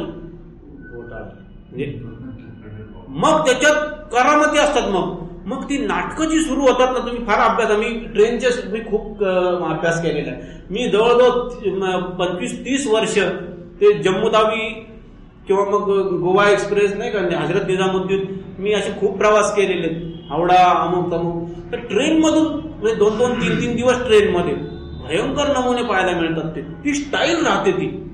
सुरक्षित होण्याची एक स्टाईल राहते. आणि असुरक्षित पण लगेच होतो आपण तातडीने. बरं सुरक्षेचं असं आहे मग की तो माणूस समजा माझ्या धर्माचा निघाला माझ्या गावाकडचा निघाला ना तर फार आश्चर्य वाटेल. तुम्ही त्याला सांगता तर ह्याच्याकडे लक्ष ठेवा माझ्या सामानाकडे मी जाऊन येतो खाली. म्हणजे तो ओळखीचा पण नसतो. पण एक आश्वासन निर्माण होतं लगेच आपल्यामध्ये की हा आपल्या सामानाचं रक्षण करेल. तेच ते मुस्लिम असला तो. त्याला नाही सांगणार भाईचा इसके ऊपर ख्याल रखना काय हे मुस्लिम आहे. यांनी काय केलं तर? बघा तुम्ही मत्सराची भावना आता खरं तर कोणताही धर्म हा मत्सर शिकवत नाही. अशोक कोठारीचं ज्या वेळेला याचं ओपनिंग झालं जोगळेकर साहेब होते तिथे. तर तिथे माझ्या भाषणात मी एक उल्लेख केला. की धार्मिकतेची व्याख्या बदलायला पाहिजे. तर आपण आपल्या पीठाची एक व्याख्या निर्माण केलेली आहे. की ज्याला आपला धर्म सोडून बाकीचे सगळे धर्म दिसतात कळतात त्याला आपण धार्मिक म्हणू. हा मग ती धर्माची चौकट मोडणारा माणूस धार्मिक. त्याला नुसताच माझा धर्म दिसतो दुसरं काही दिसत नाही. तो मत्सरी आहे. त्याला ज्ञान होणं सुद्धा शक्य नाही तुम्हाला सांगतो ज्ञान होणं सुद्धा असंभव आहे. त्याचं कारण आहे की गीता निर्माण होणार साडेपाच हजार वर्ष झालेली कोण ज्ञानी झाले? काय त्याची री ओढून किती लोक पोहोचले? काही नाही झालेलं. आहे. अडीच हजार वर्षानंतर बुद्ध आला महावीर आला. त्यांचं जर लँग्वेज वाचलं तर गीतेला छेद देणारं लँग्वेज आहे. आणि तिथे मात्र सगळं निर्माण झालेलं दिसतं तुम्हाला. म्हणजे काय झालंय? की मत्सर हा विषय सगळ्यात आधी तर तुमची चौकट फिक्स करतो. आणि या चौकटीचा पहिला नियम असतो. काय नियम? मला फक्त माझच आवडेल. दुसऱ्याच आवडणार नाही. लक्षात घ्या महत्वाचं. माझच आवडेल दुसऱ्याच आवडणार नाही. हा जो भाग आहे ना म्हणजे आपल्या दत्तगीतेमध्ये ओळ आहे. की सुख आता देईना दुसरा. दुसरा सुख दे दुसरा शब्द आला की खलास. तुमचं सुख बारगळलं म्हणजे सुख आता देईना दुसरा. दुसरा आला की तुमचं सुख गेलं. जोपर्यंत प्रथम पुरुषी एकवचनी आहात तुम्ही तोपर्यंतच सुख. दुसरा आला की सुख संपलं तुमचं. आणि दुसरे असे हजारो आहेत तुम्ही मत्सराच्या नादात एक शापदग्ध जीवन ज्याला म्हणतो शापित जीवन. धर्माचं जीवन मी स्वतः अनुभवलेले म्हणून सांगतो. आत्ताच्या काळात जे पुस्तकी धर्म आहेत त्या पुस्तकी धर्मातलं जीवन जगणं म्हणजे शाप शापित जीवन जगण्यासारखं आहे तुम्हाला. हे जीवन ओलांडण्याशिवाय तुमचे यंत्र प्रस्फुटितच होत नाही. आज मी इथे बसलेलं तुमच्या लक्षात येईल की मी कुठल्याही धर्मग्रंथातली उदाहरणं यासाठी देत नाहीये कारण शेवटी राखेचे टिळे लावून तुम्हाला पाठवायचं नाहीये. ते राख आहे ते सगळं विजलेलं आहे ते सगळं. ते आता नियम इथे काम करत नाही. एक काळ होता पाच पाच पती द्रौपदीला होते ते सगळे नियम नियमात होते. आता नाही होणार ते नियम आता नियम बदलले सगळे. नीती बदलली आहे सगळ्या विषय बदललेले आहेत. आणि एवढं करून सुद्धा नीती आणि तिचा डोलाला पुन्हा आपल्या मान्यावरच आहे. तुम्ही मानलं तरच सुख आहे नाही तर काय उपयोगाचं त्याचे? म्हणजे जी गोष्ट सगळं करून सुद्धा शेवटी मान्यावरच आधारलेली आहे. म्हणजे सुख सुद्धा मान्यावरच आहे तुम्ही लक्षात घ्या. मान्यावर आधारलेलं सुख उत्सव निर्माण नाही होऊ शकत. हे लक्षात घ्या. हे लक्षात घ्या. जे सुख मानताय तुम्ही त्याच्यातून उत्सव नाही निर्माण होत. त्याच्यामधून ओझ निर्माण होतं. वजन निर्माण होतं त्याच्यामध्ये तुम्ही ओझ वाहताय ते. माझं आहे माझं आहे माझं आहे. किती वाहणार तुम्ही? माझा भाग जो आहे त्या नादात हा जो परका भाग आहे तो तुम्हाला सुख द्यायला उत्सुक आहे. पण आपले दरवाजे बंद आहेत. दुसरा या शब्दाला आपले दरवाजे बंद आहेत. मत्सर. किती मोठं नुकसान आहे तुम्हाला किती आपण तुम्हाला सांगतो की एका दगडाचा आणि माणसाचा संवाद झाला तर तो दगड सरस ठरेल. दगडाचा आणि माणसाचा संवाद झाला तर दगड सरस ठरेल. कारण काय? की दगडाचं म्हणणं हे आहे की मी समर्पणाच्या बाबतीत तुझ्यापेक्षा उजवा आहे. मी एखाद्या मूर्तिकाराच्या हातात गेलो तर माझ्यातून राम घडू शकतो माझ्यातून कृष्ण घडू शकतो माझ्यातून बुद्ध घडू शकतो. पण तुझ्यातून काय घडू शकतो? तू चौकट स्वतःला अशी मारून घेतलेली आहे दगड परवडला. हा दगडाचा दगड. म्हणजे दगडापेक्षाही दगड. की ज्याच्यामध्ये परिवर्तनच संभवत नाही. एक छन्नी हातोडा घेऊन नाही बसू शकत तुम्ही त्याच्यावरती. तुम्ही कुराणामधली एक आयत इकडचे इकडे शब्द म्हणा जीवच जाईल तुमचा. म्हणजे किती विलक्षण दर्जा आहे बघा तो. जीव घेतात लोक एकमेकांचं. जीव स्वस्त आहे तुमचा. मानवता तुमची अत्यंत स्वस्त आहे. पण त्या पुराणातलं एक वचन किंवा शास्त्रातलं एक वचन ते परमेश्वर आहे. कुठल्या युगात आपण जगतोय? कुणी टाकलं आपल्यामध्ये हे सगळं? दगडासारखे धारणा दगडासारख्या चेतन माणूस मी म्हणून म्हणतात की दगडाची माणसाची भेट झाली दगड म्हणतोय मी तुझ्यापेक्षा सरस आहे. आणि खरंच सरस आहे.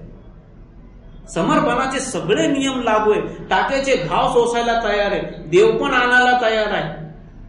सगळं करायला तयार आहे. आणि याच कारणामुळे कदाचित त्याच्यामधून वाटेल ती मूर्ती घडवली जाऊ शकते. तिथे माणसामधून जिवंतामधून काही घडवता येत नाही. ही जिवंताची शोकांतिका आहे. आपण जो इथे यज्ञ मांडलेला आहे हा दगडाची मूर्ती घडवणारा नाही. आपल्याला तुम्ही आम्ही आहोत. आपल्यातला तो भाव आपल्याला जागृत करता आला पाहिजे की हा मी तयार आहे. फक्त मला त्याचीच गरज आहे. मूर्ती घडवणं फार सोपं आहे. याची गरज आहे फक्त की मी तयार आहे. एक लाईन आहे. एक लाईन आहे. मैं तयार संपला विषय. दुसरं काही नको.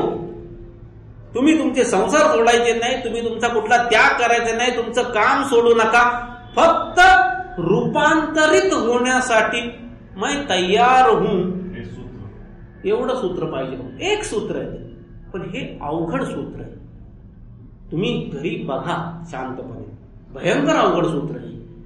कारण आपण खूप चापून चोपून चाललेलो आहोत. मला कित्येक जण म्हणतात ना की दत्तात्रय घेतले त्यामुळे आपोआपच हिंदुत्वाचा शिक्का मारून घेतलेला लक्षात घ्या. कळत न कळत हे घडलेलं आहे. दत्त घेतला आपण. पण दत्तात्रय आहे व दत्तात्रयाचा शिक्का आहे. दत्तात्रय हे प्रामुख्याने हिंदूंमधलं दैवत आहे. आणि त्यातूनही ती जी आख्यायिका आहे की ब्रह्मा विष्णू महेश बाळ झाले आणि त्याच्यानंतर मग त्या तिघांना एक करून तो दत्तात्रय झाला. ही जी आख्यायिका आहे त्याच्यामुळे ते अजून हिंदुत्व लादलं गेलंय त्याच्यामध्ये. बरोबर आहे की नाही?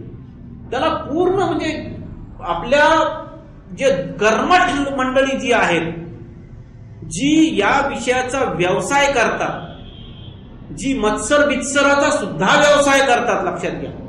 आज जे अतिरेकी तयार होतात हा मत्सराचा व्यवसाय आहे तुम्हाला सांगतो. त्या कसाबला फासावर लटकवण्यापूर्वी जेव्हा त्याला आणलं जात होतं तर पेपरला हा किस्सा आला होता. त्याला त्याने ज्या वेळेला मशीद मला वाटतं मनोजने मला हा किस्सा सांगितला की त्याला ज्या वेळेला मशिदीच्या बांग ऐकायला आल्या बाहेर तेव्हा त्याने विचारलं इकडं मशीद आहे? तर म्हणले अरे येडा का कुळा म्हणले तुला जिथं ठेवलं होतं त्या एरियामध्ये म्हणजे गल्लीत जर फेरफटका मारला तर दहा मशिदी सापडतील दहा पंधरा म्हटलं त्याला पहिल्यांदा लक्षात आलं की आपल्याला चुकीचं शिकवलं गेलेलं आहे. ट्रेन केलं गेलेलं आहे आपल्याला चुकीचं केलं गेलं त्याला हे सांगितलं होतं भारतामध्ये मशीदच नाही. असलेल्या मशिदी तिकडे पाडतात येऊन लोक. तिथे मंदिरं बांधतात तिथे उलट घडलेलं आहे. घडलेलं काय आहे? मंदिरं पाडून मशिदी बांधल्या गेलेल्या आहेत. घडलेलं हे आहे. आणि तरी सुद्धा अजूनही बाबरी मशीद राम मंदिर तो वाद जो आहे तो अजूनही पूर्णत्वाला गेलेला नाहीये. अर्धे अर्ध वाटप झालंय पण त्याला काही अर्थ नाहीये. धर्माची तरी नाही गेलेली त्याच्यामुळे. हा भाग तुमचा हा भाग तुमचा. हिंदुस्थान पाकिस्तान सारखंच येते. ते शेजारी शेजारी काय नांदणार आहे का? मत्सर कुठं जाणार? घालवायला काय पाहिजे? रोग कुठे आहे आणि इलाज कुठे आहे? रोग इथे आहे की मत्सर हा रोग आहे. आणि इलाज काय आहे तर अर्धा अर्ध वाटून दिलेलं आहे. म्हणजे मत्सराला आणखी खतपाणी येते. तसं जर बघितलं तर. पण कुठेतरी सलोखा प्रस्थापित व्हावा म्हणून. तर तिथे बेसिकली हे सगळं जे चाललेलं आहे मत्सर मत्सर मत्सर त्याला त्याला माहीत नाही इकडे मशीद आहे. पूर्णपणे प्रशिक्षण लेस म्हणजे भारतामध्ये सर्व धर्म समभाव आहे हा विषयच त्याला माहीत नाही. एक जागा आहे त्याला त्या जागेवर डांबून ठेवलं त्याला पूर्णपणे भारत इज इक्वल टू पेटवणे. भारत इज इक्वल टू नाश. भारत इज इक्वल टू शत्रू. तुमच्या लक्षात आलं असेल की आपण ह्या ज्या हेल्मेट आहे ह्याच्यावरती आघात का करतोय? कारण हा भाग जो आहे हा जसं प्रशिक्षण होईल तसं वळणार आहे. हा भाग अत्यंत लाचार भाग आहे. हा भाग अत्यंत टुकार भाग आहे. हा एकदा प्रशिक्षित झाला तुम्हाला माहीत नाही आपल्या याच्यामध्ये प्रत्येक धर्मामध्ये अर्थात लहान बाळाच्या अनुषंगाने भरपूर संस्कार आहेत. ते संस्कार करण्याची इतकी घाई असते आपली. हे झालं की हे करा हे झालं की हे करा आठ वर्ष झाले हे करा नऊ वर्ष झाले हे करा. का करा? एकदाच त्याने चौकट बांधून घेतली की हिंदू मुस्लिम मग ते खतना करा अमुक करा. म्हणजे त्याला ते चौकट निर्माण केल्याशिवाय आई बापाच्या सुद्धा जीवात जीव येत नाही माहिती बाप्तिस्मा हे म्हणजे काही करून ते लेबल लावलं पाहिजे त्याच्यावरती. मग बरोबर ती लेबल लावतात आपल्या नकळत्या वयात लावलेली लेबल आहेत सगळी. पण ती नंतर मिरवण्याची साधनं होऊन बसतात नंतर आपण. आणि तीच लेबल नंतर मत्सराला कारणीभूत होते. त्याच्यानंतर मग दुसऱ्याचा मत्सर सुरू होतो तुम्हाला सांगतो. मी मत्सर खूप पचवलेला माणूस म्हणजे माझ्या वाट्याला मत्सरासारखं काही म्हणजे मत्सरीच आलेलं आहे सगळा मी.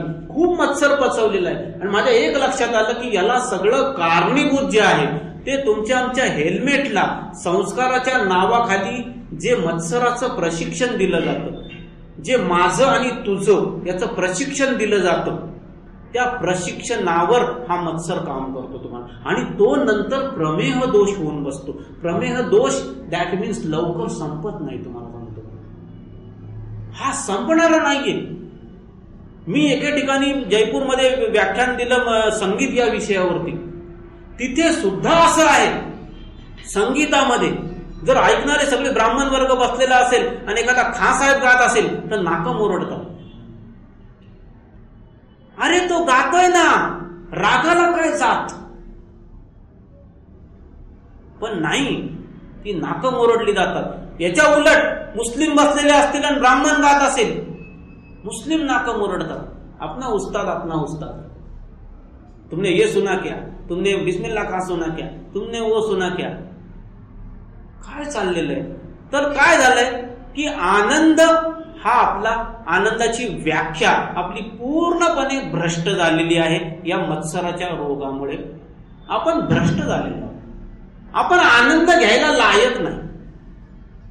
आपण आनंद घेतच नाही मुळात. अब काय होतं त्याच्यामधून? बिस्मिल्ला खाची शैनाई ऐकून गाया जास्त दूध देतात. मग त्याच्यावरती एक कमेंट आलं होतं की थँक गॉड गायांना धर्म कळत नाही. नाहीतर त्यांनी दूध दिलं नसतं. पण माणूस ही कोणाची सनई आहे? बिस्मिल्लाची का? याची आहे का? त्याची आहे का? अरे काय चाललंय तुमचं? पलीकडे बघायची दृष्टीच नाही तुमची. कधी कपाट उघडणार तुमची? आणि हे जे शरीर आहे तुम्हाला मी सांगतो हे तुमच्या मान्यावर आधारलेलं नाही जे गणित मी इथे सांगतोय. हे तुमच्या मान्यावर आधारलेलं नाही. हे शरीर तुम्हाला तोपर्यंत आनंद द्यायला सक्षमच नाही जोपर्यंत याचा अंतरिम उपयोग तुम्ही करत नाही. आणि हा अंतरिम उपयोग एखाद्या धर्माला धरून कधीच होऊ शकत नाही. असंभव! तुम्ही काहीही मिळवा. एकेका धर्माचे किती किती आचार्य झालेले आहेत किती किती शंकराचार्य झालेले आहेत काहीही मिळवा तुम्ही. काही साध्य होत नाही तुम्हाला. कारण प्रस्फोटच होत नाही. नाहीच होत. प्रस्फोट आला ह्या संकल्पना नको आहेत अभिमान नको आहे मद नको आहे मत्सर नको आहे ममत्व नको आहे स्वामित्व नको आहे. स्वामित्व आलं तरी ममत्व आलं तरी सगळ्या ठिकाणी लक्ष्मण रेषा मारून ठेवलेले आहेत ते सगळ्या. अभिमान हा असलेली गोष्ट नसलेली करण्यात पटाईत आहे. तुम्हाला सांगतो. आणि नसलेली गोष्ट असलेली भासवण्यात पटाईत आहे. फार महत्त्वाचा विषय आहे. अभिमान ही गोष्ट अहंकार ही गोष्ट असलेली गोष्ट नसलेली करण्यात पटायला आहे उदाहरणार्थ माझ्या घरामध्ये रेफ्रिजरेटर नाही. नाही ही गोष्ट अभिमानाला परवडत नाही. खलास तो पाठीमागे लागणार. त्याला ठेस येते. माझ्याकडे हे नाही. हे अहंकाराचं खतपाणी बरं का. त्याचं इंधन पेट्रोल.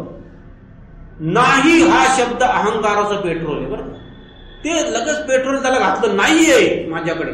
माझ्याकडे पैसा नाही. आलं पेट्रोल. ते पेट्रोल पडलं चालला पाठ्या कामाला. हे कर ते कर काबाड कष्ट कर ते कर ते कर.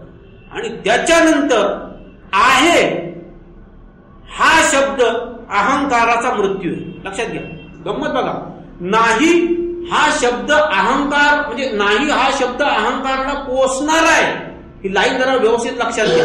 नाही हा शब्द अहंकाराला पोचणार आहे आणि आहे हा शब्द अहंकाराचा मृत्यू आहे. मी पुन्हा सांगतोय. अहंकार पोचलाच जात नाही.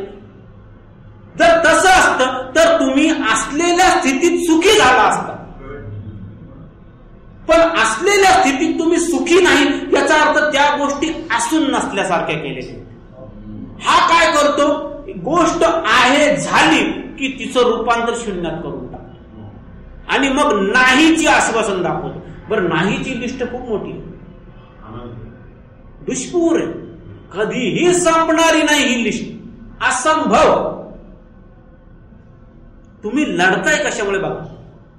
नाही बरोबर तुमची लढाई चालू आहे.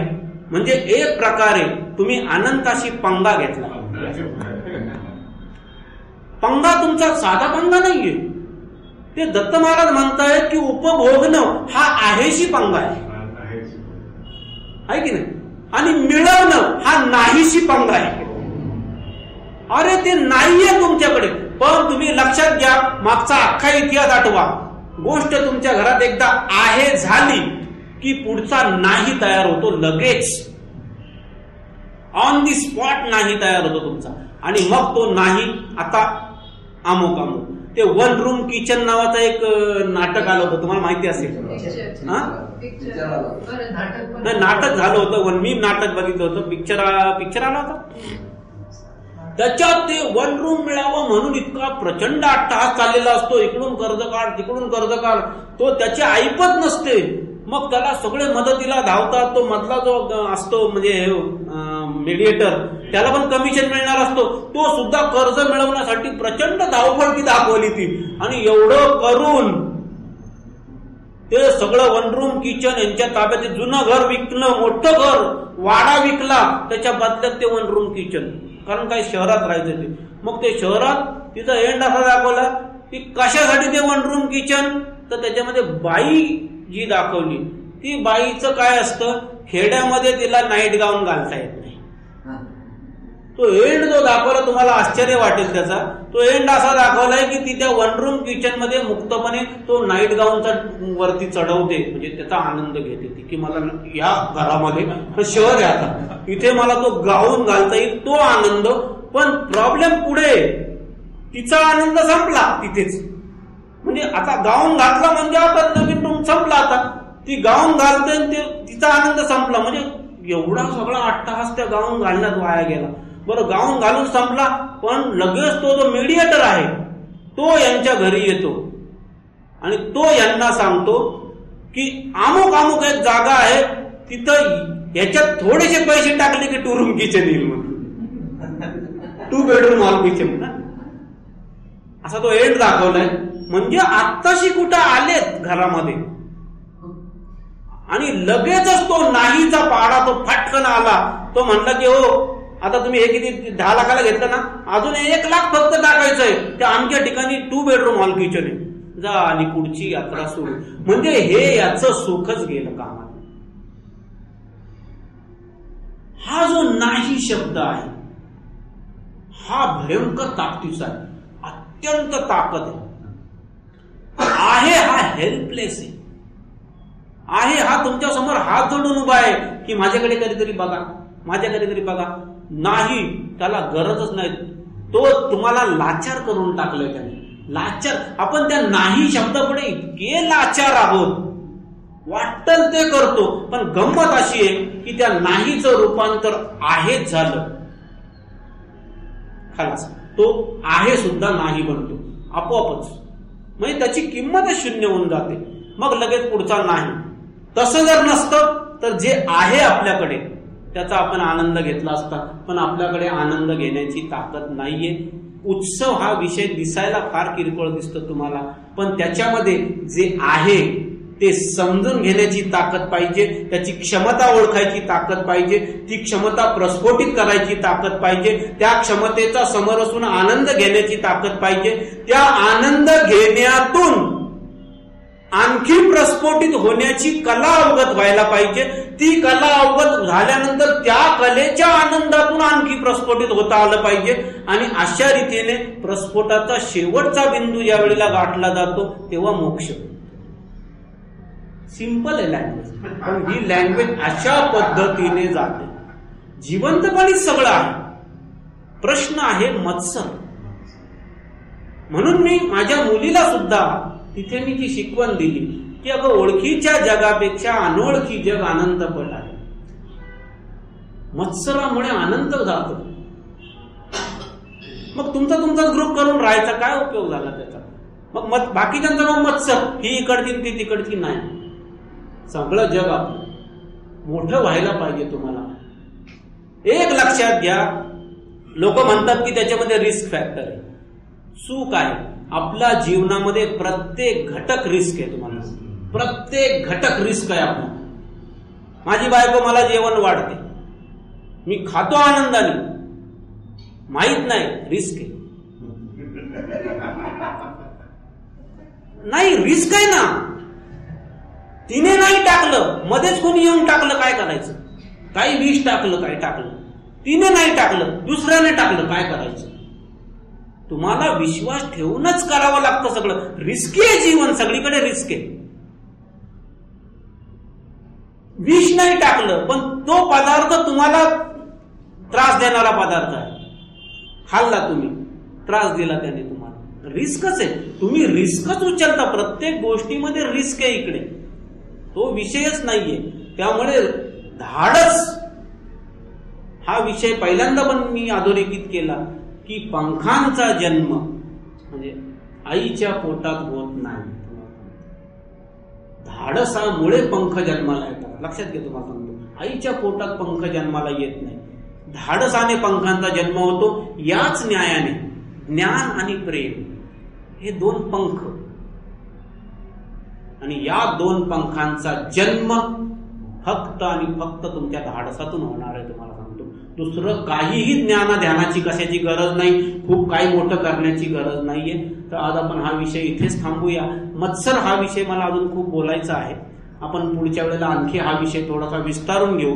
पण तोपर्यंत आजची जी सूत्र आहे त्या सूत्रामधून एक महत्त्वाचा सिद्धांत जे जे अधोरेखित केले दोनदा बोललो आपण. तर ते पुन्हा अधोरेखित करा. काहीही झालं तरी तुमच्या आतमध्ये परमात्म्याने दिलेली एकमेव फुटपट्टी उत्सव. एकमेव फुटपट्टी आनंद. जिथे आनंद जातो जिथे तुम्ही संकीर्ण होता जिथे आनंदाला सुद्धा नियम लावता आनंद घेण्याला सुद्धा नियम लावता त्या ठिकाणी तुम्ही रमायचं नाही. सोपी टेक्निक मी जर तुम्हाला वाटलं हे अवघड आहे नाही आता त्याच्यासाठी ना एक दोन दिवसाची ट्रिप आणि. प्रत्यक्ष घटना करा तरी सुद्धा सांगून देतो की ज्या ज्या वेळेला असं एखादी घटना अवघड वाटेल तुम्ही डोळे बंद करून मी इथे बसलेलं माझं प्रवचन आठवा. मला आठवा तुम्ही. मी उदाहरण स्वतःच म्हणून प्रस्तुत करतोय. मी शास्त्रातली उदाहरणं देत नाहीये लक्षात घ्या. मी गीतेतलं सांगतोय रामायणातलं सांगतोय म्हणून माझं म्हणणं खरं नाहीये. या गोष्टी जीवनाशी निगडीत आहेत. या गोष्टींचा प्रस्फोट माझ्या आयुष्यात घडलेला आहे सगळं. घटना म्हणून घडलेलं आहे. जोगडेकर मला म्हणाले तिकडे की आमच्या बाबतीत शक्य आहे का? मी तितक्याच ताकदीनं त्यांना म्हटलं की जो माझ्यासारखा जिवंत आहे त्या प्रत्येकाच्या बाबतीत शक्य आहे ते. का असं म्हटलं?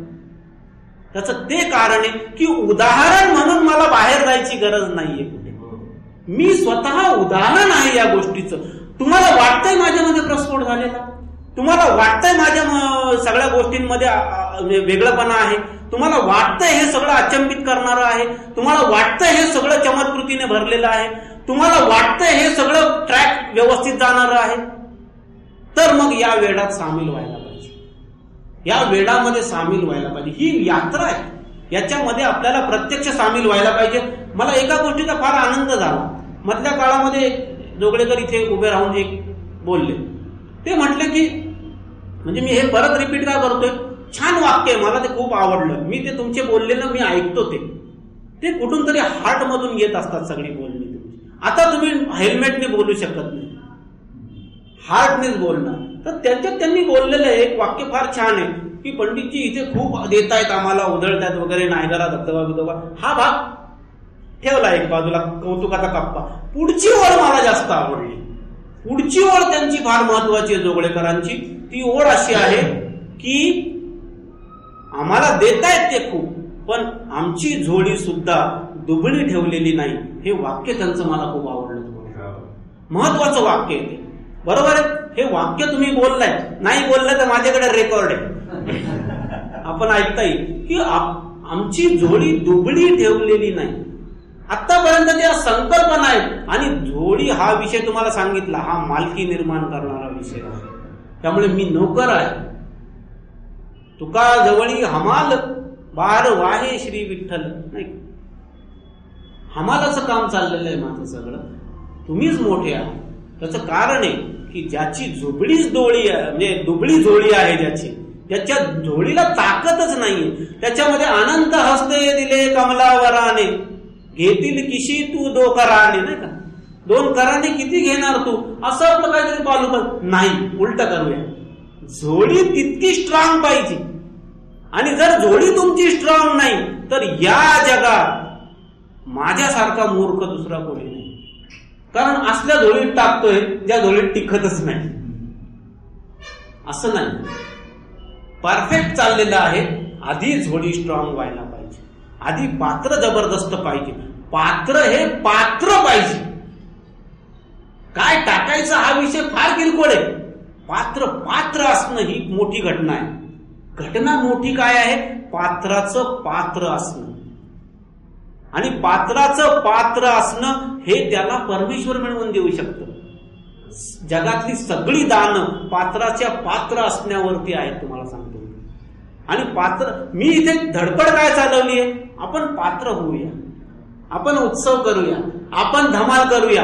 आणि मग बघू पठ्ठ्या कसा येत नाही. ते लाचार तुम्ही आम्ही नाही व्हायचं. ही भक्ताची भाषाच नाही. लाचारीची भाषा ही भक्ताची भाषा नाही. भक्ताची भाषा नेहमी स्वामित्वाची राहिलेली आहे. लाचारीची भाषा नाही त्यांची. देणं नाही देणं तू जाण. जे मिळाले त्याच्यामधून आम्ही मजा करणार जे मिळाले त्याच्यातून धमाल करू. काय प्रॉब्लेम आहे? ते मला साऊथ इंडियन लोकांचं खूप आवडतं. त्यांच्या हॉटेलात गेलं उत्तप्पा मागितला हाय. इडली मागितली हाय. मेदूवडा मागितला आहे. मसाला डोसा मागितला आहे. सगळं आहे. का सगळं आहे? कारण त्यांनी जे पीठ करून ठेवलंय ते या सगळ्या गोष्टींना पात्र. त्या पिठाचे उपयोग बघा ना किती आहे. त्याचाच मेदूवडा त्याचीच इडली त्याचाच मसाला डोसा त्याचाच साधा डोसा त्याचाच उत्तप्पा. मल्टीपर्पज आहे. पात्रता पाहिजे. ती पात्रता असल्यानंतर माझ्याकडे सगळं आहे. उडप्याचं हॉटेल कधी बंद पडत नाही त्याच्याकडे सगळं आहे. पात्रता आहे. पात्रतेला बक्षीस आहे तुम्हाला सांगतो. पात्रतेकडे मग मसाला डोसा चालत येणार. पात्रतेकडे उत्तप्पा चालत येणार. पात्रतेकडे सगळं चालत येणार तुम्हाला सांगतो. दुबळी नाही झोळी त्यांनी सांगितलं ही पात्रता इतकी मोठी आहे की परमेश्वर चालत येईल तुमच्याकडे. हा फरक आहे मोठा. आणि हे आश्वासन नव्हे. ही घटना ही घटना घटित होणारी घटना आहे. आपण आनंद घेऊया. तुम्ही आम्ही एकत्र आल्यानंतर जर प्रत्येकांमध्ये जर आपल्याला ती दृश्य दिसायला लागली प्रत्येक जण जर प्रस्फुटित झाला प्रत्येकामधल्या जर पिंडस्थ ब्रह्मांडांशी मेळ खायला लागल्या तुम्हाला सांगतो इथे प्रत्येक जण प्रचंड दिव्य होईल. आणि त्याच्यानंतर ती जी माळ तयार होईल आपली दिव्यते दिव्यतेच्या मान्यांची ती कशी दिसेल तुम्हाला सांगतो? खतरनाक विषय आहे. खतरनाक विषय आहे. ही सिमिलॅरिटी नाहीये. होली फील्डचा कान चावायला टायसनकडे जाण्याची गरज नाही हे पण बरोबर आणि हे पण बरोबर. एका छापाचं काढण्यासाठी इथे काय आपण म्हणजे ज्याला काय प्लॅटर ऑफ पॅरिसच्या मूर्त्या घडवायला बसलेलो नाहीये. किंवा एक हे साचा टाकला त्या साच्यामध्ये टाकलं सगळे एक छापाचं सगळं ते आवडणार पण नाही परमेश्वर तुमच्या मार्फत तुमच्या सारखा व्यक्त होऊ इच्छितो. त्याला व्यक्त होऊ देणं ही आपली पात्रता ही आपली जोडी. ती जोडी आपण प्रामाणिकपणे चांगली बनवायचा प्रयत्न करू. बाकीच्या गोष्टी आपोआप होणाऱ्या आहेत त्याची चिंता करायचं कारण नाही. धन्यवाद.